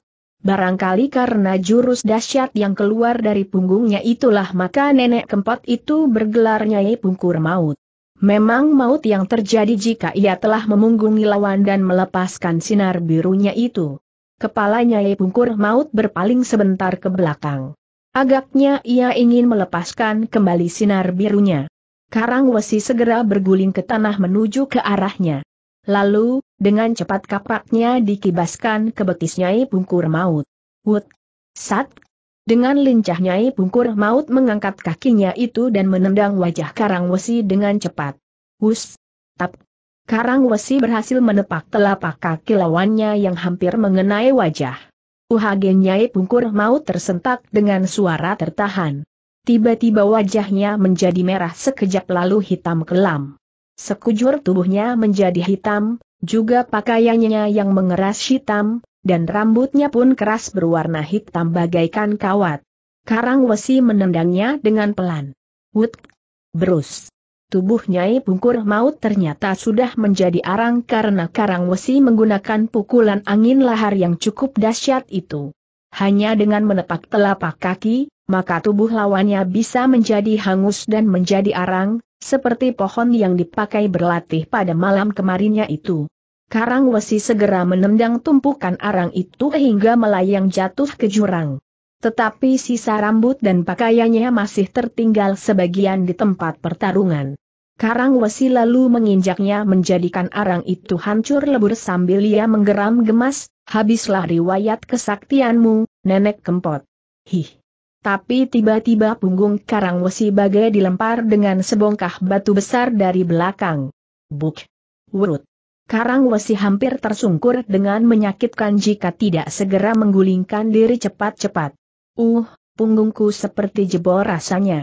Siapa yang menyerangku? Mungkinkah arwahnya Nyai Pungkur Maut yang kubuang ke jurang? Karang Wesi berdiri tegak kembali, ia segera mencabut kapaknya. Matanya melirik sekeliling. Ternyata sepi tak ada orang. Buru-buru ia melompatkan badan tinggi-tinggi dan bersalto satu kali. Jelek. Ia berada di depan pintu mulut gua. Siap melepaskan serangan kepada siapa saja yang muncul di depannya. Serta merta karang wesi sentakan kapaknya ke samping kiri. Wut! Tring! Sebuah sinar merah sebesar ruang logam melesat ke arahnya dan tertangkis oleh metu kapak itu, lalu sinar tersebut memantul balik ke arahnya semula. Blar! Berus! Dahan sebuah pohon yang jadi sasarannya langsung pecah. Dari pohon itu pula sesosok tubuh berkain merah melompat turun dengan sebatang kayu penumbuk padi di tangannya. Jelek! Alu Amah telah berdiri di depan karang wesi. Kuakui, hebat pula serangan tangkismu itu, nak. Siapa kau Karang Wesi memandang dingin. Aku si Alu Amah. Gurumu pasti kenal aku. Kau murid Ki Candak Sedot, bukan? Apa perlumu datang kemari? Dan apa maksudmu menyerangku? Kau penjaga gua ini. Aku yakin, Ki Candak Sedo ada di dalam sana. Aku harus masuk ke dalam juga. Boleh. Asal kau bisa bikin aku bersujud di hadapanmu. Air, kurang ajar betul kau. Anak muda. Tak kau dengarkah kesaktian si Alu Amah yang begitu ganas itu? Tak ada orang sakti kecuali Karang Wesi ia menepuk dadanya. Panas hati si Alu Amah dikatakan begitu. Merasa disepelekan oleh anak semuda itu, Alu Amah pun segera menggeram dengan matanya yang cekung memandang penuh kemarahan. Rupanya kau bocah yang patut diberi pelajaran, supaya tidak mudah tepuk dada di depan orang tua. Ya ah. Alu Amah melesat terbang dengan senjata alunya meluncur cepat bagai ingin menggempur wajah Karang Wesi. Dengan gerakan berputar cepat, Karang Wesi membabatkan kapaknya ke atas, tepat membelah kayu penumbuk padi itu. Krak, Kapak tiga meter menyala merah, dalam gerakan cepat telah membelah kayu itu sampai ke bagian yang dipegang tangan Alu Amah. Auh Alu Amah terpekik karena pergelangan tangannya terpotong oleh kapak karang wesi. Dengan cepat karang wesi sentakan telapak tangan kirinya ke telinga Alu Amah. Des. Prak. Terdengar tulang kepala patah bagai tempurung buah kelapa yang dikeperak memakai senjata besi. Darah pun mengalir dari telinga dan hidung Alu Amah. Dalam keadaan limbung begitu, kapak karang wesi ditebaskan dari bawah ke atas dalam satu ayunan tangan yang kuat. Hiat. Keras. Kapak menebas leher dan leher itu pun putus. Kepala Alu Amah menggelinding di tanah. Peluk. Dan raganya pun menyusul rubuh dalam kejap berikutnya. Kembali tubuh lawannya yang sudah tak berkepala itu ditendang dalam satu sentakan kuat dan menggelinding jatuh ke jurang depan gua. Sementara itu kepalanya pun diangkat rambutnya dan dilemparkan begitu saja sambil Karang Wesi menggeram. Jangan coba-coba melawan Karang Wesi jika ilmumu tak melebihi ilmu guruku. Hus! Kepala Alu Amah dilemparkan ke jurang. Tapi sebelum Karang Wesi membersihkan kapaknya, Tiba-tiba kepala Alu Amah kembali menggelinding di depan kaki Karang Wesi. Peluk. Hah tanda seru Karang Wesi terkesiap dengan mulut terlongong. Segera ia lemparkan pandangan ke arah jurang depan, dan ia makin terkesiap lagi, karena di sana sudah berdiri seorang berjubah abu-abu yang menutup pakaian serba kuningnya itu. Orang itu sedikit agak gemuk, berkumis, berwok dan berjanggut putih. Karang Wesi menggumam, setan mana lagi yang muncul ini? Dengan kalem orang berwok putih yang tak lain adalah Ki Cagar Nyawa maju tiga tindak. Kemudian dengan suaranya yang masih cukup lantang untuk orang seusia dia, berserulah Ki Cagar Nyawa dari tempatnya yang berjarak antara tujuh langkah dari Karang Wesi. Kau telah memenggal musuh bebuyutanku, anak muda. Apakah itu salahku? Memang tidak. Dan aku berterima kasih padamu.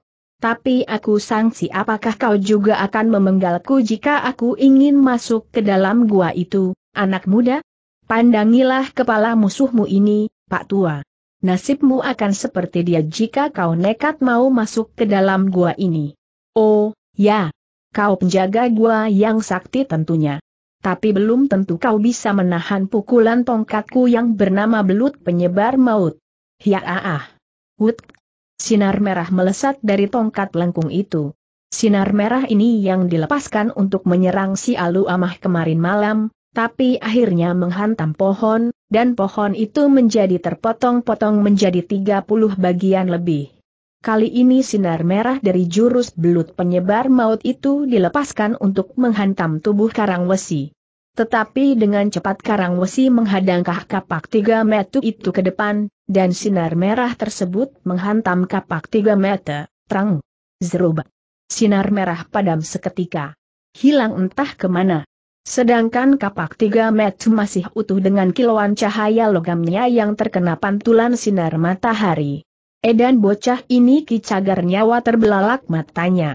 Kapaknya bisa menahan jurus belut penyebar mautku. Ini sungguh-sungguh mengagumkan bagiku. Tak pernah ada yang bisa menahan sinar merah itu, selain hanya menghindarinya. Tapi sekarang apa yang kulihat ini bukanlah mimpi ucap Ki Cagar nyawa dalam hatinya. Kapak itu terbagi tiga meter, kanan kiri dan tengah. yang tengah sama lebarnya dengan matu kampak kanan kiri. Dan sekarang Karang Wesi menebaskan kapaknya dari kanan ke kiri, tapi mendadak berhenti di depan dada. Zlap! Sinar hijau pijar melesat dari metu kapak yang tengah dan menyerang Ki Cagar Nyawa dengan cepatnya. Hiaat! Ki Cagar Nyawa sentakan kaki dan menghindari sinar hijau itu dengan tubuh melompat ke atas. Tapi ia sedikit terlambat sehingga, keras, Sinar itu menyerempet bagian betisnya. Ki cagar nyawa segera memekik. Ah ah ah matanya terpejam kuat dan ia pun rubuh tak bisa berdiri. Betisnya koyak tanpa keluarkan darah merah, melainkan mengeluarkan lendir hitam yang berbau busuk. Sebaiknya kau minggat secepatnya dari sini, Pak Tua.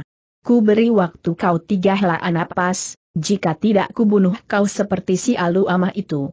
Mengerti? Baiklah. Kau unggul sekarang, anak muda.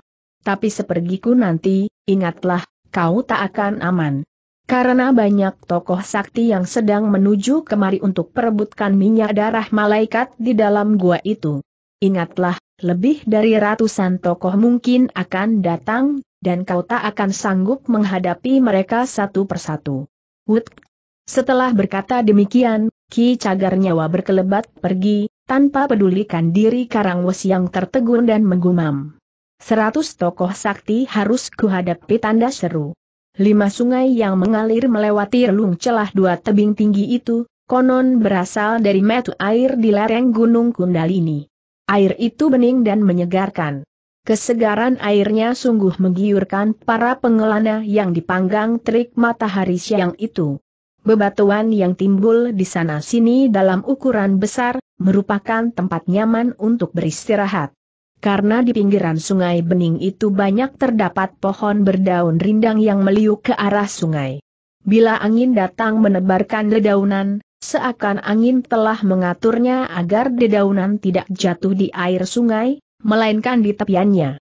Bahkan lebih sering daun jatuh di dataran yang menyerupai tanggul berhutan itu. Di atas salah satu batu hitam yang ada di pinggiran sungai, tampaklah seorang pemuda yang sedang mencuci wajahnya dengan air tersebut.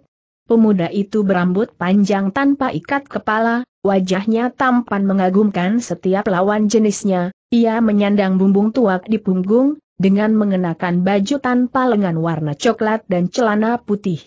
Pemuda itu bertubuh tinggi, tegap dan tampak gagah jika berjalan. Buat kalangan tokoh wanita di rimba persilatan, pemuda itu sudah tak asing lagi bagi mereka, karena daya pikatnya yang luar biasa sering membuat mereka terbuai oleh khayalan sendiri. Pemuda tampan itu tak lain adalah murid Sinting si gila tuak, yaitu pendekar mabuk, yang punya nama panggilan Suto Sinting. Dalam perjalanan pengejarannya terhadap musuh utamanya, yaitu siluman tujuh nyawa, Suto agaknya merasa lelah dan butuh istirahat beberapa waktu. Tepian sungai yang terduh menjadi pilihannya, ia menenggak tuaknya beberapa kali. Lalu sandarkan duduknya ke batu datar. Hatinya pun membatin. Siluman tujuh nyawa rasa tak jauh dari tempat ini.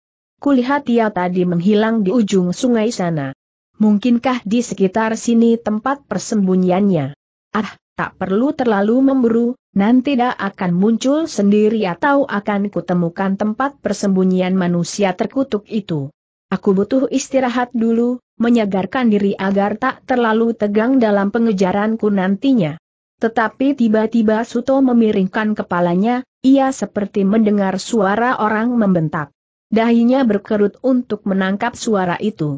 Hatinya kembali membatin, sepertinya ada suara orang di sekitar sini tak jauh dari tempat ini. HMMM, seperti suara dua orang perempuan bertengkar saling debat dan saling bentak. Di sebelah mana kira-kira? Oh, di sebelah kiriku. Berarti arah menuju ke hulu sungai. Sebaiknya aku ke sana untuk melihat kejadian itu. Apa yang sedang mereka pertengkarkan? Pendekar mabuk memang sering punya keusilan kecil yang tak merugikan orang lain. Kadang ia sering menguping pertengkaran orang, lalu mengambil hikmahnya bagi hidupnya sendiri. Kadang ia juga menggoda hati perempuan dengan senyumnya, lalu menyadarkan perempuan itu agar tak mudah tergoda oleh ketampanan yang tidak semuanya mendatangkan bahagia di hati mereka. Seperti halnya kali ini, Suto bermaksud mencuri dengar pertengkaran dua perempuan yang sedang dicari sumbernya itu. Kedua perempuan itu sebenarnya baru saja tiba di tepian sungai, arah ke hulu. Bahkan tak seberapa jauh dari Suto beristirahat.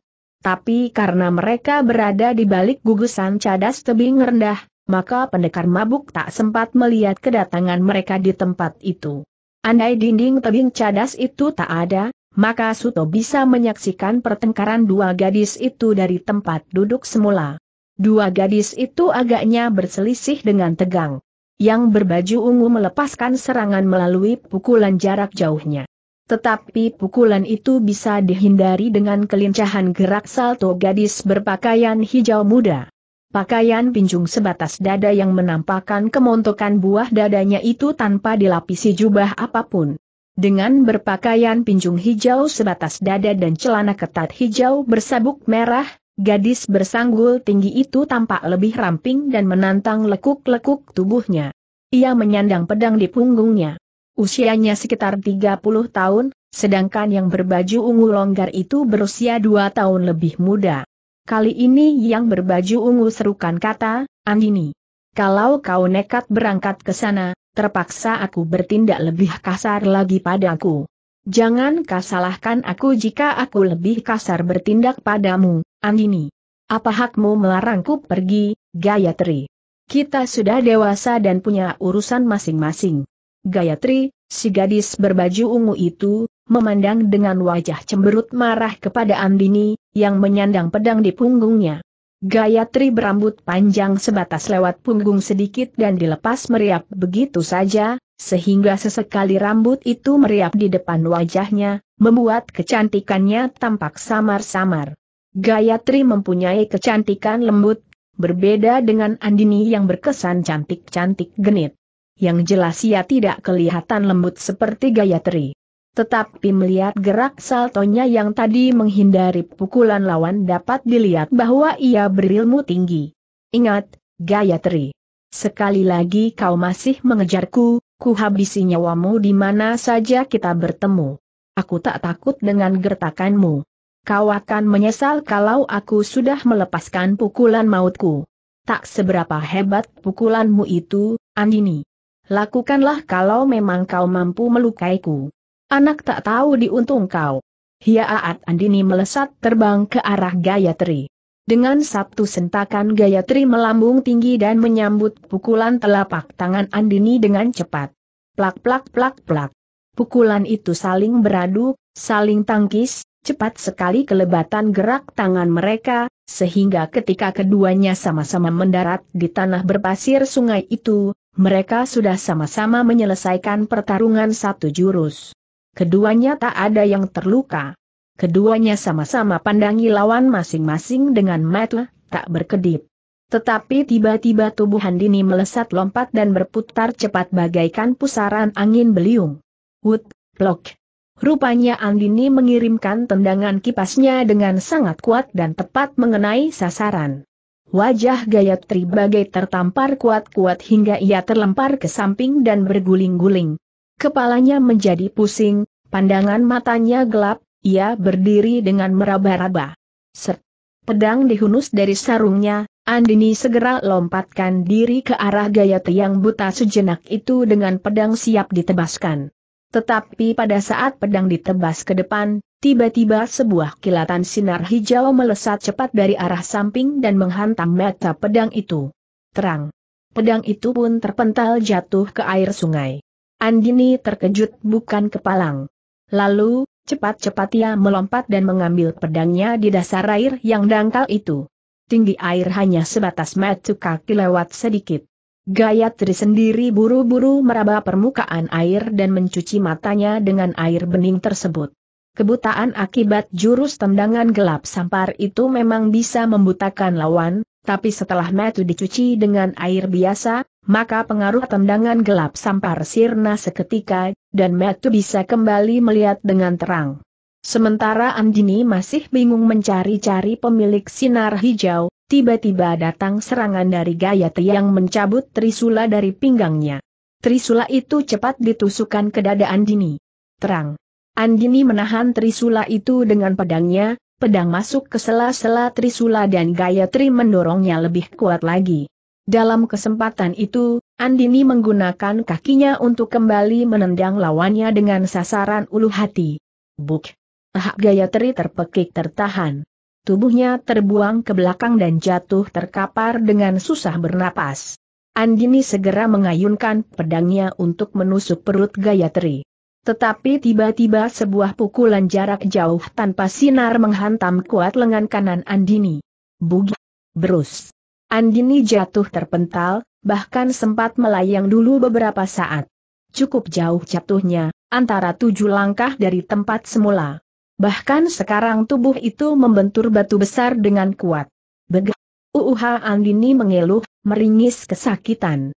Tulang punggungnya bagai terasa patah, ia tak bisa bangkit dalam waktu cepat, ia menggeliat-geliat dulu dalam keadaan duduk sambil masih memegangi pedangnya. Sementara itu, Gayatri memandangi Andini dengan dali berkerut dan terheran-heran. Pasti ada orang ketiga pikir Gayatri. Lalu, ia berpaling ke belakang tempat diperkirakan datangnya serangan itu. Dan ternyata di sana sudah berdiri seorang pemuda tampan berpakaian coklat dan putih celananya. Gayatri buru-buru bangkit setelah merasakan kesesakan napasnya terkuasai. Suto Sinting sunggingkan senyum.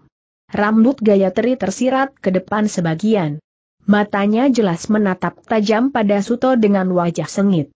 Sedikit menyipit tanda bermusuhan. Pendekar mabuk melebarkan senyum dan berkata, Maaf, Aku tidak bermaksud mengganggu kegembiraan bertarungmu, tapi aku hanya menyelamatkan pedang itu jangan sampai melukai tubuhmu, Nona. Manusia lancang. Hiaat Gayatri bahkan menyerang pendekar mabuk dengan pukulan tenaga dalam yang bisa keluarkan cahaya ungu dari telapak tangannya itu. Suto menjadi kaget, dan cepat sentakan bumbung tuaknya ke depan dada untuk menghadang sinar ungu yang tidak disangka-sangka itu. Wut Pras. Zlubuk. Sinar ungu itu bagai benda keras menghantam sebidang karat yang sangat lentur. Sinar itu berbalik ke arah semula dengan ukuran lebih besar dan lebih cepat gerakannya. Hal itu membuat Gayatri tercengang dalam sekejap, lalu cepat sentakan kaki, tubuhnya tersentak terbang ke atas dan bersalto satu kali di udara.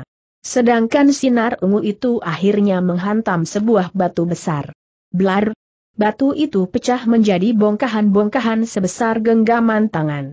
Padahal sebelumnya batu itu berukuran sebesar kerbau gemuk. Hal itu membuat Gayatri makin melebarkan matanya, tercengang-cengang, karena ia tidak merasa punya pukulan sinar ungu yang bisa bikin batu besar pecah menjadi kecil-kecil seperti kepalan tangannya.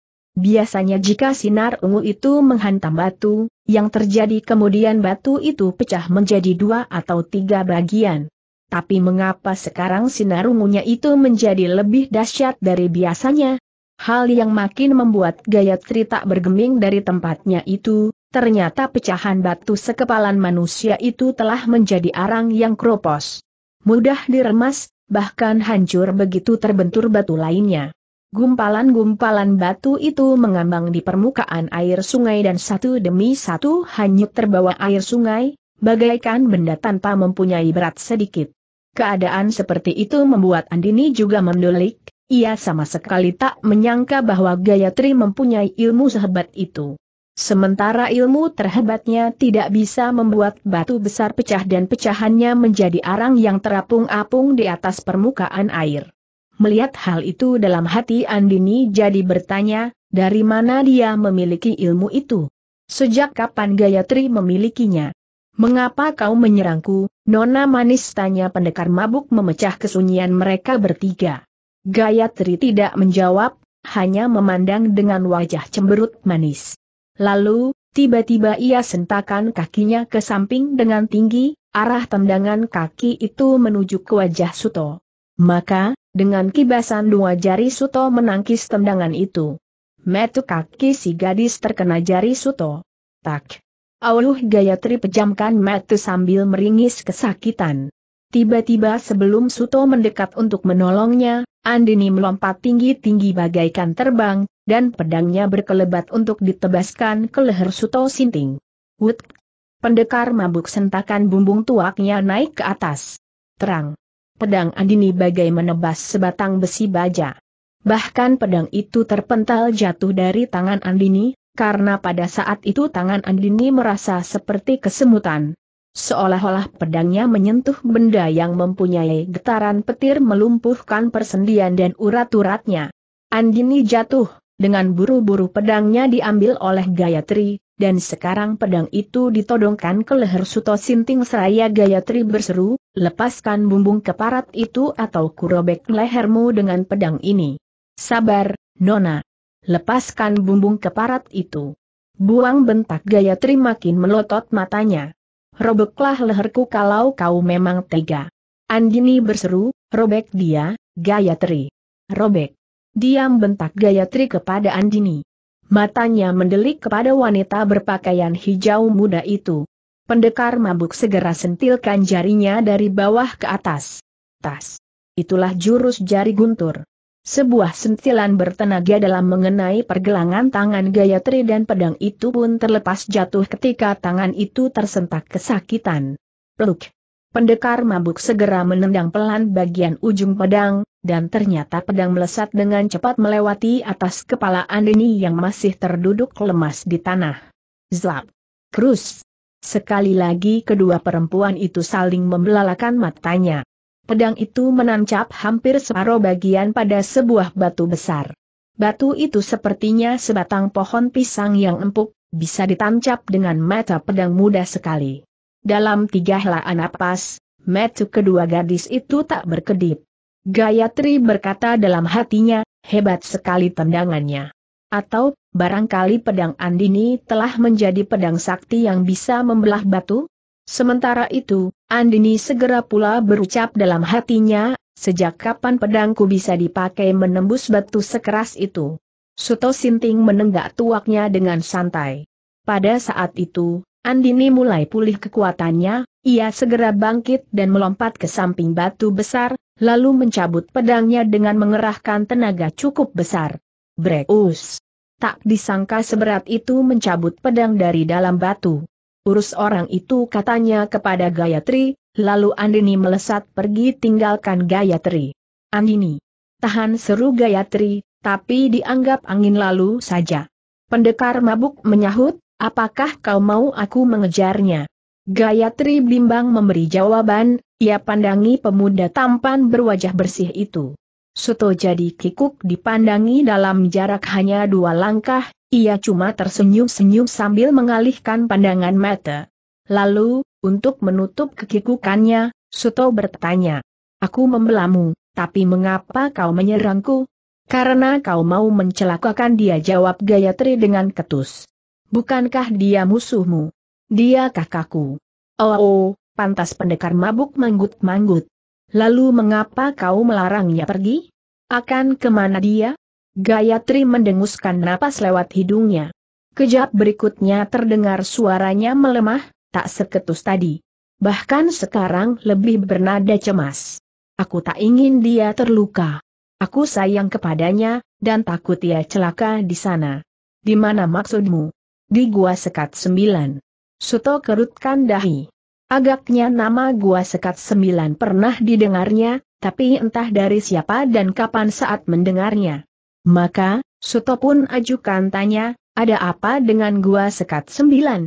Gayatri berpaling memandang Suto, rambutnya sebagian meriap di wajari cantiknya, kemudian ia berkata, kau masih hijau di rimba persilatan, rupanya. Anggap saja begitu, tapi aku butuh jawabanmu, ada apa dengan gua sekat sembilan? Para tokoh rimba persilatan sekarang pasti sedang menuju ke sana untuk mengambil minyak keramat yang bernama minyak darah malaikat. Minyak itu jika dipakai mandi bisa membuat tubuh kita kebal senjata dan pukulan tenaga dalam apa pun. Bahkan minum racun pun tak akan mati, sekalipun racun berkadar tinggi. Kakakku ingin mendapatkan minyak darah malaikat, tapi aku ingin mencegahnya. Sebab dengan begitu ia pasti akan bertarung dengan tokoh sakti dari berbagai penjuru dunia. Dan aku tak mau kakakku celaka. Oh, begitu Suto manggut-manggut. Lalu, mengapa kau tidak mendampinginya saja supaya dia tidak celaka oleh pertarungan di sana? Bukankah kau bisa menjadi pelindungnya secara diam-diam? Ilmu kami tak akan mampu mengalahkan para tokoh sakti. Sebab gua itu pasti akan dipenuhi orang berilmu tinggi, yang tidak tanggung-tanggung ilmunya. HMMM pendekar mabuk manggut-manggut. Bagaimana kalau kuantarkan kau pergi ke gua sekat sembilan, untuk melindungi kakakmu itu? Gayatri tertegun. Tak menyangka Suto akan tawarkan diri begitu. Enam seperti yang dikatakan Gayatri, para tokoh sakti pasti akan datang ke gua itu. Dan memang benar. Mereka datang silih berganti. Mati satu, muncul satunya lagi. Pergi satu, datang yang lainnya lagi. Sampai-sampai Karangwesi merasa muak menghadapi mereka secara berganti-gantian. Hampir-hampir Karangwesi tak punya waktu untuk beristirahat. Berulang kali Karangwesi melontarkan keluh, mengapa jadi aku yang kerepotan sendiri menghadapi mereka? Kalau hanya jumlahnya dua tiga orang mungkin tak seberapa. Tapi ini, mungkin sudah ada dua puluh orang yang kukalahkan, baik mati di tanganku atau lari karena luka. Lantas sampai kapan serangan mereka akan berhenti? Kapan aku akan beristirahat? Mereka yang mati, langsung dibuang oleh Karangwesi ke jurang. Bahkan ada yang belum mati, tapi masuk jurang karena terpeleset. Kapak bermata tiga itu tak pernah kering oleh darah. Baru saja mau dikeringkan sudah datang mangsa lagi yang mendesaknya untuk berkelebat merobek bagian tubuh lawan atau memenggal kepala lawan. Pada umumnya mereka yang datang bukan berilmu rendah. Tapi beruntung sekali Karangwesi, karena semua ilmu milik Ki Candak Sedo telah diturunkan kepadanya, sehingga mereka yang datang sama saja bertarung melawan kesaktian Ki Candak Sedo. Bahkan kali ini kesaktian Ki Candak Sedo berada di tangan orang perkasa dan lebih kekar lagi dari pemilik aslinya. Lama sekali guru berada di dalam? Jangan-jangan dia mati karena salah masuk ruang bercahaya sembilan itu pikir Karangwesi. Maka, ia pun bergegas masuk ke dalam gua untuk menyusul gurunya. Tapi baru saja ia melangkahkan kaki satu tindak, tiba-tiba sebuah pukulan jarak jauh telah melesat menghantam punggungnya. Wut! Buh! Karang wesi terpelanting dan membentur tepian mulut gua. Ia merasakan sakit di sekujur tubuhnya. Tapi dengan menarik napas dalam-dalam rasa sakit itu terkuasai dengan segera. Itulah care pengobatan yang dimiliki oleh Ki Candak Sedo. Cepat-cepat Karangwesi membalikan badan dan memandang ke arah depan. Ternyata seorang berpakaian loreng macan dan memegang senjata tombak trisula telah berdiri dengan sikap menantang Karangwesi. Sejenak hidung Karangwesi dienduskan karena mencium bau busuk yang tadi tak ada, tapi sejak kemunculan tokoh berpakaian macan loreng itu hawa busuk menjadi tercium. Itulah tanda bahwa si macan bangkai hadir di situ. Setiap kehadiran si macan bangkai selalu didului oleh bau busuk dari tubuhnya. Selalu ada udara tak sedap jika macan bangkai ada di suatu tempat. Dan hal itu menggelisahkan orang-orang, termasuk Karangwesi sendiri sekarang menjadi gelisah karena terganggu bau busuk itu. Mayat dari mana kau, datang-datang menyerangku, Hah bentak Karangwesi sambil maju empat tindak dari mulut gua. Tak perlu kau tanyakan dari mana aku dan siapa aku.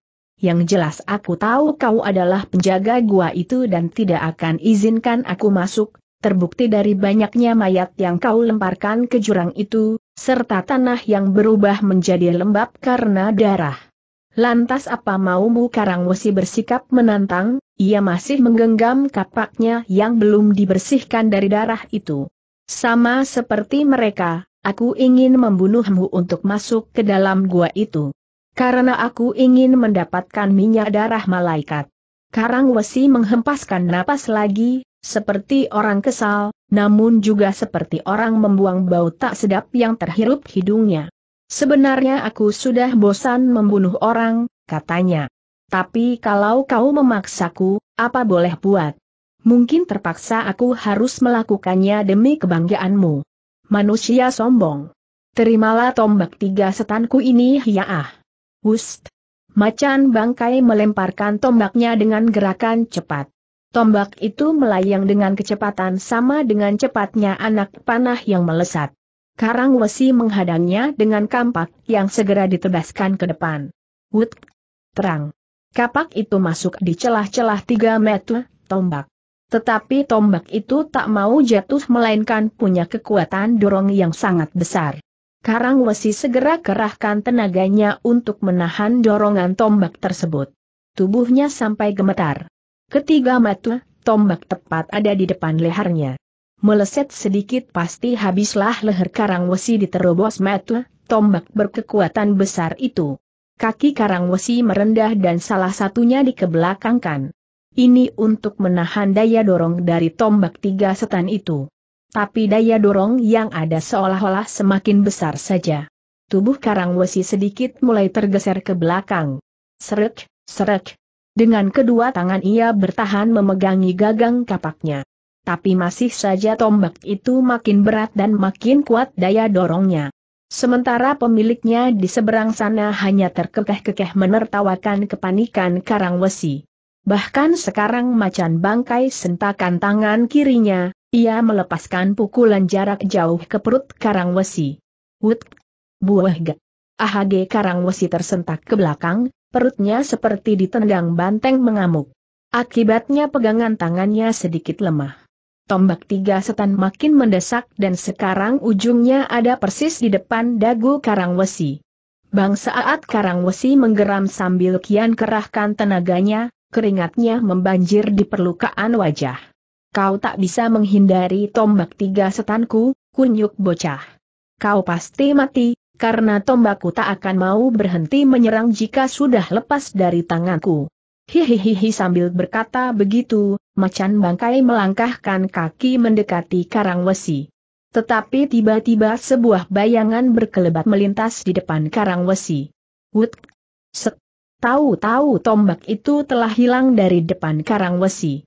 Bahkan daya dorong Karang Wesi yang bertahan tadi kini membuat Karang Wesi tersungkur jatuh ke depan. Burk. Sementara itu Karang Wesi segera mendengar suara orang memekik dengan suara tertahan. Jerubak. Ak ah ah. Cepat-cepat ia dongakan kepala memandang ke depan dalam keadaan masih telungkup jatuh. Dan Metu Karangwesi pun terkesiap pandangi sesuatu yang di luar dugaan.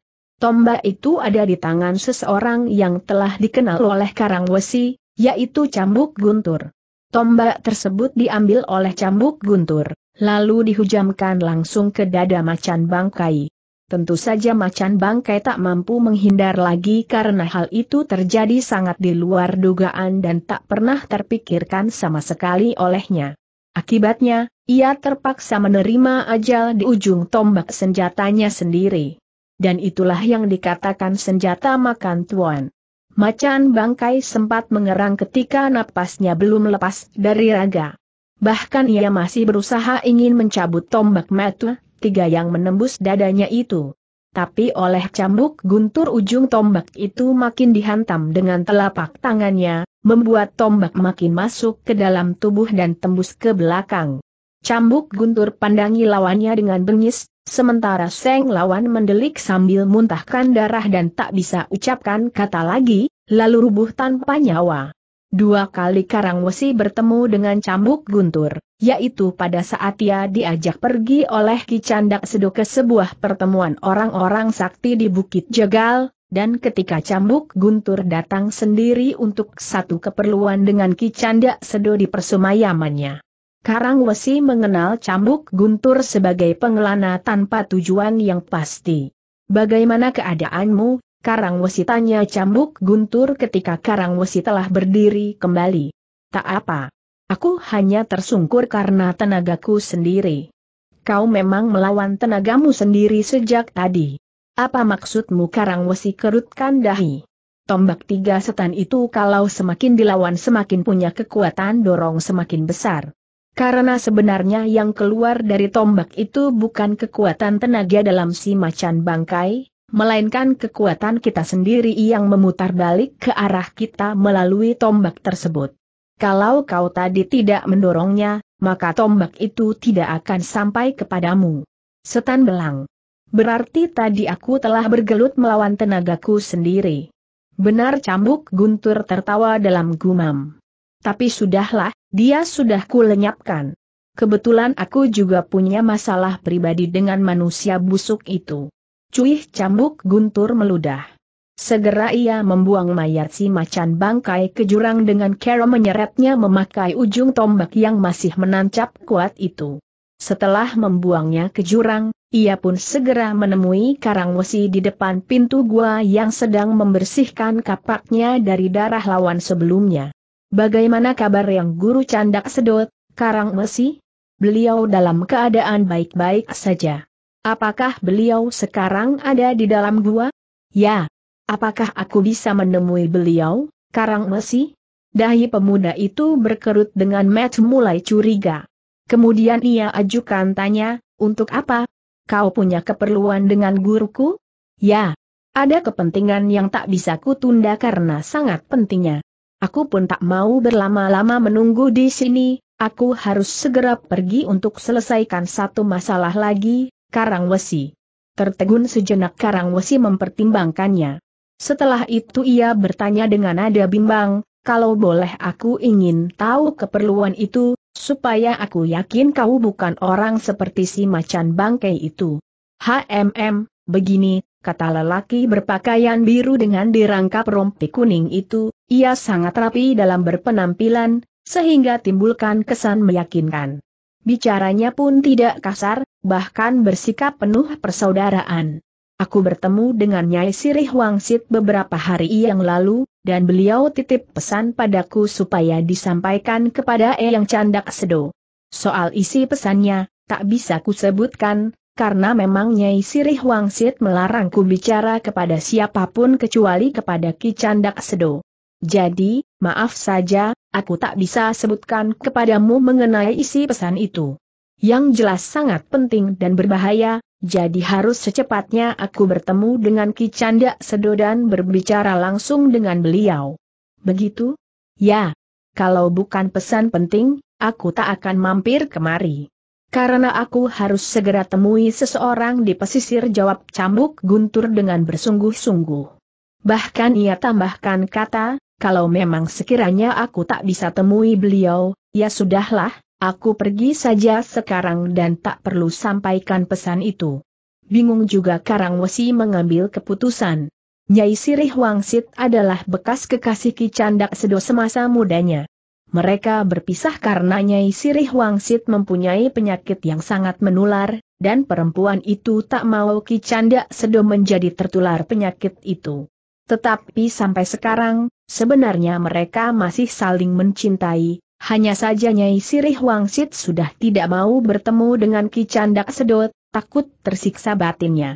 Tentang di mana persembunyian atau tempat tinggal Nyai Sirih Wangsit, tak seorang pun tahu, sehingga Ki Candak Sedot tak pernah bisa berkunjung menemui kekasihnya itu. Mungkin saja sekarang keadaan sudah lain. Mungkin Nyai Sirih Wangsit ingin memberitahukan kepada Ki Candak Sedo tentang tempat tinggalnya melalui mulut cambuk guntur. Atau mungkin saja Nyai Sirih Wangsit rindu ingin berjumpa Ki Candak Sedo di suatu tempat, dan beliau menyuruh cambuk guntur merahasiakan pertemuan tersebut. Atau mungkin ada urusan pribadi lainnya yang tak bisa diduga siapa pun, kecuali cambuk guntur sebagai si pembawa dan penyampai berita itu. Karang Wesi benar-benar dalam kebimbangan.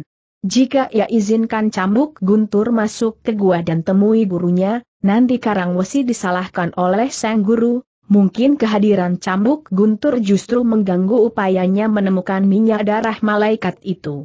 Tapi jika tidak diizinkan, jangan-jangan Karang Wesi juga yang dimarahi oleh Ki Candak Sedo karena menahan pesan dari Nyai Sirih Wangsit? Sedangkan pesan itu tidak bisa disampaikan melalui murid Ki Candak Sed, sehingga mau tak mau Cambuk Guntur harus bertemu langsung dengan Ki Candak Sedo dan bicara empat mata. Dalam kebimbangannya itu, Cambuk Guntur segera memberi keputusan kepada Karangwesi, begini saja. Aku akan segera tinggalkan tempat ini untuk mengurus kepentinganku sendiri.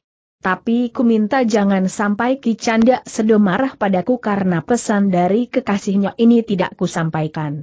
Kau harus bertanggung jawab, Karang Wesi. Eh, jangan begitu sergah Karang Wesi. Jangan kau limpahkan kesalahan kepadaku.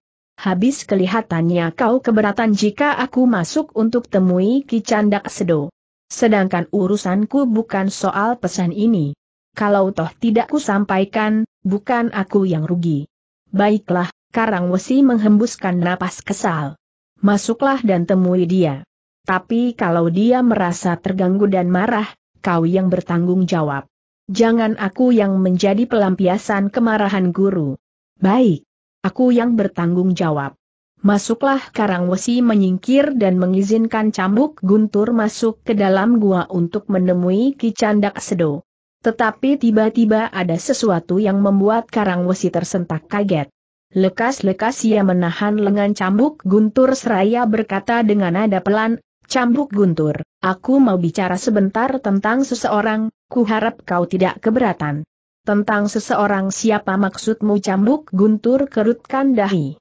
Sambil menuntun lengan cambuk guntur, Karang Wesi berkata, kapan kau bertemu Nyai Sirih Wangsit? Kira-kira satu bulan yang lalu, di lembah Cupu Hasta keadaan cambuk guntur sudah berada di luar gua, bahkan mereka bicara di bawah pohon berwarna kuning dari batang sampai daunnya. Apakah kau bisa temukan tempat tinggalnya Sirih Wangsit? Tidak. Aku bertemu beliau di jalan. Benar satu bulan yang lalu? Ya. Benar. Kira-kira satu bulan yang lalu. Ada apa? Tak apa-apa. Aku hanya ingin tahu tempat tinggal beliau. Pesan ini tidak menyangkut masalah tempat tinggal beliau. Oh Karang Wesi manggut-manggut. Ya sudah, masuklah sana. Cambuk Guntur mulai melangkahkan kaki menuju pintu mulut gua, tapi tiba-tiba Karang Wesi mencabut kapaknya dan ditebaskan ke punggung Cambuk Guntur. Keras. Hega. Terhenti dan terpekik Cambuk Guntur seketika itu juga punggungnya menjadi sasaran empuk bagi kapak tiga metu itu. Salah satu sisi metu kapak menancap masuk hampir seluruh bagian. Karang Wesi segera mencabutnya dengan satu sentakan kaki menjejak. Bruk. Tubuh cambuk guntur rubuh dengan mulut ternganga-nganga. Modarlah kau, penipu. Hampir saja aku terkena tipu muslihatmu. Untung aku segera ingat bahwa Nyai Sirih Wangsit sudah meninggal enam bulan yang lalu geram Karang Wesi sambil pandangi wajah sekarat cambuk guntur. Di selana pas terakhirnya cambuk guntur sempat ucapkan kata pelan, hampir saja ku dapatkan minyak itu tapi sayang, kau cerdas dan, dan, dan tak mudah kau kelabungi dengan bualanmu sentak Karang Wesi. Tapi pada saat itu cambuk guntur telah menghembuskan napas yang terakhir. Untuk selanjutnya ia diam tak berkutik sampai selama-lamanya.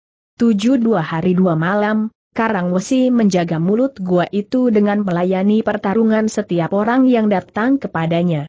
Sementara dalam hatinya sendiri penuh kesangsian, apakah gurunya masih ada di dalam atau sudah pergi lewat jalan lain?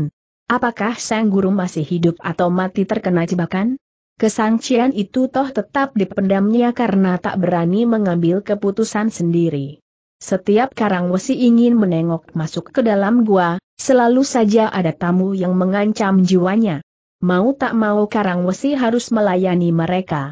Lebih dari tujuh kali nyawa Karang Wesi hampir saja melayang karena menghadapi musuh yang tangguh. Empat kali sudah, Karang Wesi menghadapi tipuan yang nyaris membuatnya kebobolan. Anehnya dari mereka tak ada yang bersatu menyerangnya. Seandainya ada yang bersatu menyerangnya, Karang Wesi sendiri sudah perkirakan bahwa dirinya tidak akan mampu membendung kekuatan yang bersatu.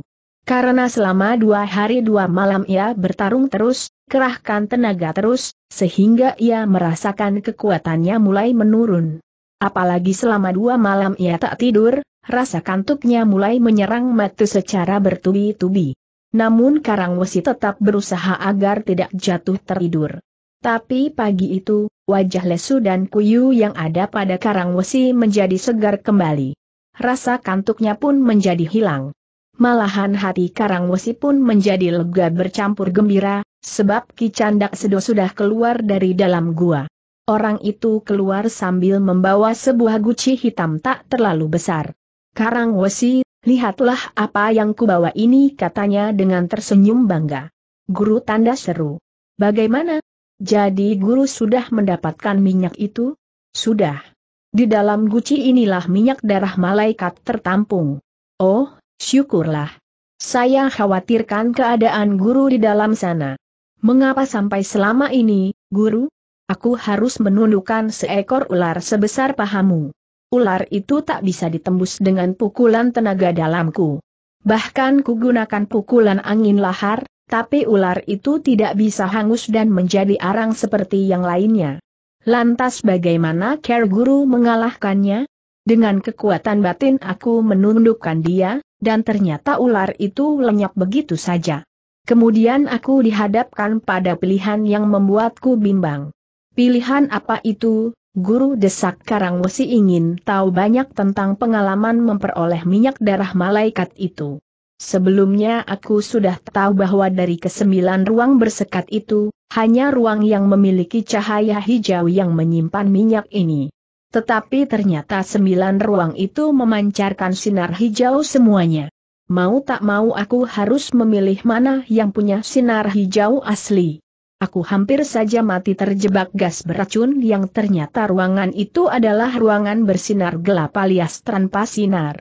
Aku juga hampir mati dihujam seratus tombak, dan ternyata ruangan itu bersinar kuning. Sampai empat kali aku hampir mati di dalam sana, lalu akhirnya ku temukan ruangan hijau yang asli, maka aku harus melakukan semadi beberapa waktu sampai guci ini muncul sendiri di depanku. Hebat sekali. Kalau bukan guru yang mengambil minyak itu, tak mungkin orang lain bisa melakukan seperti apa yang dilakukan guru ujar Karangwesi dengan pujian yang membanggakan hatinya sendiri. Mari kita pulang, muridku. Aku akan mandi minyak ini. Belum lagi mereka sempat melangkahkan kaki, tiba-tiba sekelebat bayangan menyambar tangan Ki Canda Sedo dengan cepat. Wut! Guci minyak darah malaikat hampir saja berpindah tangan. Untung dengan cepat Ki Candak Sedo segera kelebatkan tangannya yang memegang guci itu, sehingga terhindar dari sambaran maling tak disangka-sangka. Bangsat suara besar terdengar dari arah bawah pohon jati merah itu. Suara tersebut milik orang berkumis tebal, bermata lebar, rambutnya panjang dibungkus kain merah, wajahnya angker dan hidungnya tergolong besar. Orang itu tidak memakai baju, celananya hitam dengan sabuk hitam besar mempunyai tempat keris sendiri. Orang itu berkulit hitam, dan kulitnya tampak tebal. Badannya tinggi, kekar dengan kuku jarinya runcing-runcing. Oh, kau rupanya, Warok berucap Ki Candak Sedo. Syukur kalau kau masih mengenaliku, Candak Sedo katanya dengan suara besar. Aku memang mengenalmu, tapi tak menyangka kau ingin merebut minyak ini dariku, Warok Kober. Hahaha. Kau memang perlu memperhitungkan kehadiranku, candak sedo. Memang selama ini kita berhubungan baik, tak pernah ada perselisihan apa pun. Tapi untuk kali ini, demi minyak yang sudah hampir seratus tahun itu, aku terpaksa buka perkara denganmu, candak sedo. Karang Wesi bergegas maju, tapi dicegah oleh Ki Candak Sedo. Karang Wesi menggeram. Setahu dia, Warok Kober memang tidak pernah berselisih dengan gurunya. Tapi sekarang Warok Kober merusak hubungan baik hanya gara-gara ingin memperebutkan pusaka minyak darah malaikat itu. Karang Wesi jadi berpikir, alangkah amat berharganya minyak tersebut, sehingga seseorang sampai berani mengorbankan persahabatan demi mendapatkan minyak keramat itu. Jelas ini sebuah pengorbanan yang amat luar biasa. Candak Sedo. Kalau kau masih ingin menjaga persahabatan denganku, sebaiknya, serahkan saja minyak itu padaku. Jujur saja, aku ingin memiliki minyak itu. Aku ingin mandi minyak itu, Candak Sedo. Kuharap kau tidak keberatan menyerahkannya padaku, daripada persahabatan kita menjadi hancur karena berebut minyak. Tak semudah itu, Warok Kober Kicanda Sedo menggeleng-gelengkan kepala sambil sunggingkan senyum tipis, ia masih kelihatan tenang, tapi muridnya sudah gusar sejak tadi. Sambung Kicanda Sedo lagi, ingat-ingatlah, Warok, perkara minyak ini tetap akan menjadi perkara panjang selama manusia masih dikuasai oleh nafsu angkara murka. Perkara minyak tetap akan menjadi bahan pertarungan antara kedua belah pihak atau lebih. Tentunya minyak seperti yang kubawa ini jauh lebih berharga dari segala minyak, dan aku pun siap mati untuk minyak ini, Warok Kober. GGRRR Warok Kober menggeram bagaikan seekor singa. Matanya melotot lebar menyeramkan. Kemudian ia berkata, jadi kau siap bertarung denganku untuk beradu nyawa, candak sedo. Kau siap bela pati demi minyak.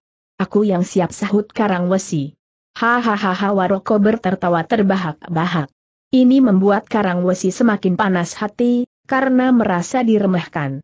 Apalagi Warokober segera ucapkan kata, kamu bocah yang masih hijau, Karangwesi. Perkara ini bukan perkara bocah ingusan seperti kamu. Pergilah main sana, tak perlu ikut campur urusan orang tua. Kalau kau menghadapiku sama saja dengan menghadapi guruku, Kiwarok. Kalau kau bisa menggulingkan aku, sama saja bisa menggulingkan yang guru candak sedo ini. Tapi kalau melawanku saja kau lari terbirit-birit, bagaimana mungkin kau bisa kalahkan yang guruku? GRRR. Kurobek mulutmu jika sekali lagi omong besar, Karang Wesi Metuarokober semakin angker memandang. Sebelum merobek mulutku, tentunya aku lebih dulu merobek dadamu, Kiwarok. Bangsat. Aku jadi bernafsu untuk memecahkan kepala sombongmu itu, bocah gendeng Waroko bermulai mengangkat kedua tangannya untuk melakukan satu pukulan. Guru, sebaiknya guru agak menjauh, biar saya hadapi orang ini. Baiklah. Hati-hati, dia punya jurus maut pada kerisnya. Terima kasih, guru. Keris itu akan saya patahkan dengan kapak saya ini kata Karangwesi dengan angkuhnya. Kemudian ia segera mencabut kapaknya dan berseru kepada Warokober, majulah kalau kau memang bisa merobek mulutku. Setan. Hiaah Warokober tiba-tiba melesat tanpa terlihat sentakan kakinya ke tanah. Tubuhnya yang besar itu siap melepaskan pukulan dalam keadaan terbang, sedangkan Karangwesi melakukan hal yang sama. Tapi ia melompat tinggi menyerang maju sambil siap-siap menghantamkan kapak bermata tiga itu. Hiaat peke karang wesi. Des. Tiba-tiba belum sempat mereka saling berbenturan, tangan Warok Kober telah menyentak ke depan dan sebuah pukulan bertenaga dalam cukup tinggi dilepaskan. Wut! Nyala sinarnya biru kekuning-kuningan. Berpendar-pendar dalam bentuk seperti bunga atau bintang yang pecah. Sinar itu menghantam dada Karang Wesi, tapi dengan cepat kapak yang ingin dihantamkan itu menutup bagian dadanya, menangkis sinar biru kekuning-kuningan itu. Zrang. Sinar itu padam seketika membentur matu kapak. Tapi pada saat itu kaki Warokober menendang dengan sentakan kuat. Duga. Uah karang wesi bagai diseruduk kerbau tujuh. Tubuhnya terlempar seketika, bahkan kapaknya pun jatuh sebelum kakinya berpijak pada bumi. Bruk. Karang wesi jatuh tersungkur setelah bersalto dua kali dan kehilangan keseimbangan badan. Buru-buru Aroko berpijakan kakinya ke tanah, dan mencabut kerisnya dengan ganas. Serat. Keris itu bagai dikelilingi oleh kilatan petir. Cahaya biru memercik-mercik ke sekeliling keris. Segera Warokober menghujamkan keris ke dada Karangwesi yang baru saja berdiri. Tapi oleh Karangwesi, pergelangan tangan Warokober lebih dulu mendapat pendangan kuat dari bawah ke atas. Plok. Wut. Tangan itu tersentak kuat sekali, dan keris tersebut terlempar ke belakang dan masuk ke jurang. Dan tiba-tiba terdengar suatu ledakan dahsyat dari dalam jurang. Jelegar. Rupanya keris itu telah timbulkan ledakan pada saat menyentuh bangkai manusia yang dikalahkan Karangwesi sebelum peristiwa itu. Mayat orang tersebut tersangkut pada sebuah dahan pohon, Lalu keris itu jatuh menancap di mayat tersebut dan timbulkan ledakan maut. Hiaah. Wut. Plak. Zerb. Kedua telapak tangan itu beradu. Karang Wesi telah menggunakan pukulan angin laharnya. Maka ketika beradu dengan telapak tangan Warok Kober, terjadilah percikan api sekejap berwarna merah. Beberapa saat kemudian, tubuh Warok Kober berdiri mematung tak bergeming lagi. Ia telah berubah menjadi seonggok arang keras. Semua yang ada padanya jadi terbakar dan membentuk onggokan arang. Tentu saja Warokober tak lagi bisa ucapkan sepatah kata pun karena sudah tak bernyawa lagi. Hi, pras. Tubuh yang berubah menjadi arang itu ditendang oleh Karang Wesi, lalu tubuh itu terlempar ke jurang dalam keadaan sudah pecah tak karuhan. Cepat-cepat Karang Wesi menghadap gurunya dan berucap kata, Maaf, guru. Terpaksa jurus itu kugunakan, karena ia sangat tangguh menurut ukuranku. Seharusnya kau bisa menggunakan jurus salju hitam saja. Tak perlu menggunakan jurus itu. Dengan kamu lepaskan jurus salju hitam, Warok Kober tidak akan mampu menahan seranganmu. Karang Wesi berkata, maaf, saya tak sempat menggunakan jurus salju hitam, karena dia mendesak terus, guru. Seharusnya tak perlu membunuh, biar dia cedera dan lari sendiri, Karang Wesi. Karang Wesi dia menunduk, ia takut kena murka sang guru. Tapi dalam hati Karang Wesi menggerutu berkepanjangan, dia memang enak, tinggal ngomong saja bisa. Aku ini yang merasakan tendangannya dan hampir mati, bisa lebih tahu bagaimana seharusnya mengalahkan dia. Sudah capek-capek melawan dan mengalahkan lawan, eh, masih saja dikecam salah. Uuha, sepertinya guru tidak suka aku menggunakan ilmu andalan untuk mempercepat kerjaku. Kemudian, Ki Candak Sedo segera perintahkan Karang Wesi untuk cepat tinggalkan tempat tersebut. Karang Wesi pun melompat dengan gerakan jurus peringan tubuh, ia menyusul gurunya yang sudah melesat lebih dulu. Tak seberapa jauh dari gua itu, mereka sudah harus menghentikan langkah karena kemunculan seorang lelaki botak berpakaian longgar. Lelaki botak ini berpakaian hitam dan menggenggam pedang besar. Ki Candak Sedo mengenal lelaki itu berjuluk setan gunung. Badannya juga besar, bahkan lebih besar lagi dari Warok Kober. Ki Candak Sedo dan muridnya sudah bisa menduga apa yang diinginkan oleh setan gunung. Maka dengan cepat Karang Wesi berdiri di depan gurunya dan segera hadapi setan gunung. Sebelum kau sebutkan niatmu, aku dan guru sudah mengetahui maksudmu menghadang kami, setan gunung kata Karang Wesi. Hahaha. Bagus, bagus. Itu berarti kalian akan serahkan minyak itu padaku, bukan? Ya, tapi dengan satu syarat, setan gunung. Apa syaratnya? Cabut dulu nyawaku, jika kau bisa, kau berhak mendapatkan minyak dalam guci yang dibawa eyang guruku. Setan kurap kau. Hia ah uut. Pedang besar itu menebas leher Karang Wesi. Tapi kepala Karang Wesi seketika itu menunduk, dan ia berguling di rerumputan. Lalu betis setan gunung ditepak dengan tangannya. Plak! Sekali lagi jurus angin lahar digunakan oleh Karang Wesi. Maka tak dapat disangka lagi, setan gunung segera terbakar tanpa api dan tahu-tahu berubah menjadi arang hitam bersama-sama pedang besarnya itu. Zerp! Seluruh tubuhnya tak tertolong lagi. Hitam dan kaku. Namun jika ditendang pelan, tubuh itu akan rubuh sebagai onggokan arang yang hitam keling. Karang wesi sentaki candak sedot, mengapa kau gunakan lagi jurus itu, sedangkan kulihat kau belum terdesak sekali. Untuk mempercepat pekerjaan harus begitu, guru. Tidak. Aku tidak suka dengan caramu seperti itu. Kau terlalu mengumbar ilmu andalan. Nantinya kau akan celaka sendiri karena ulah seperti itu.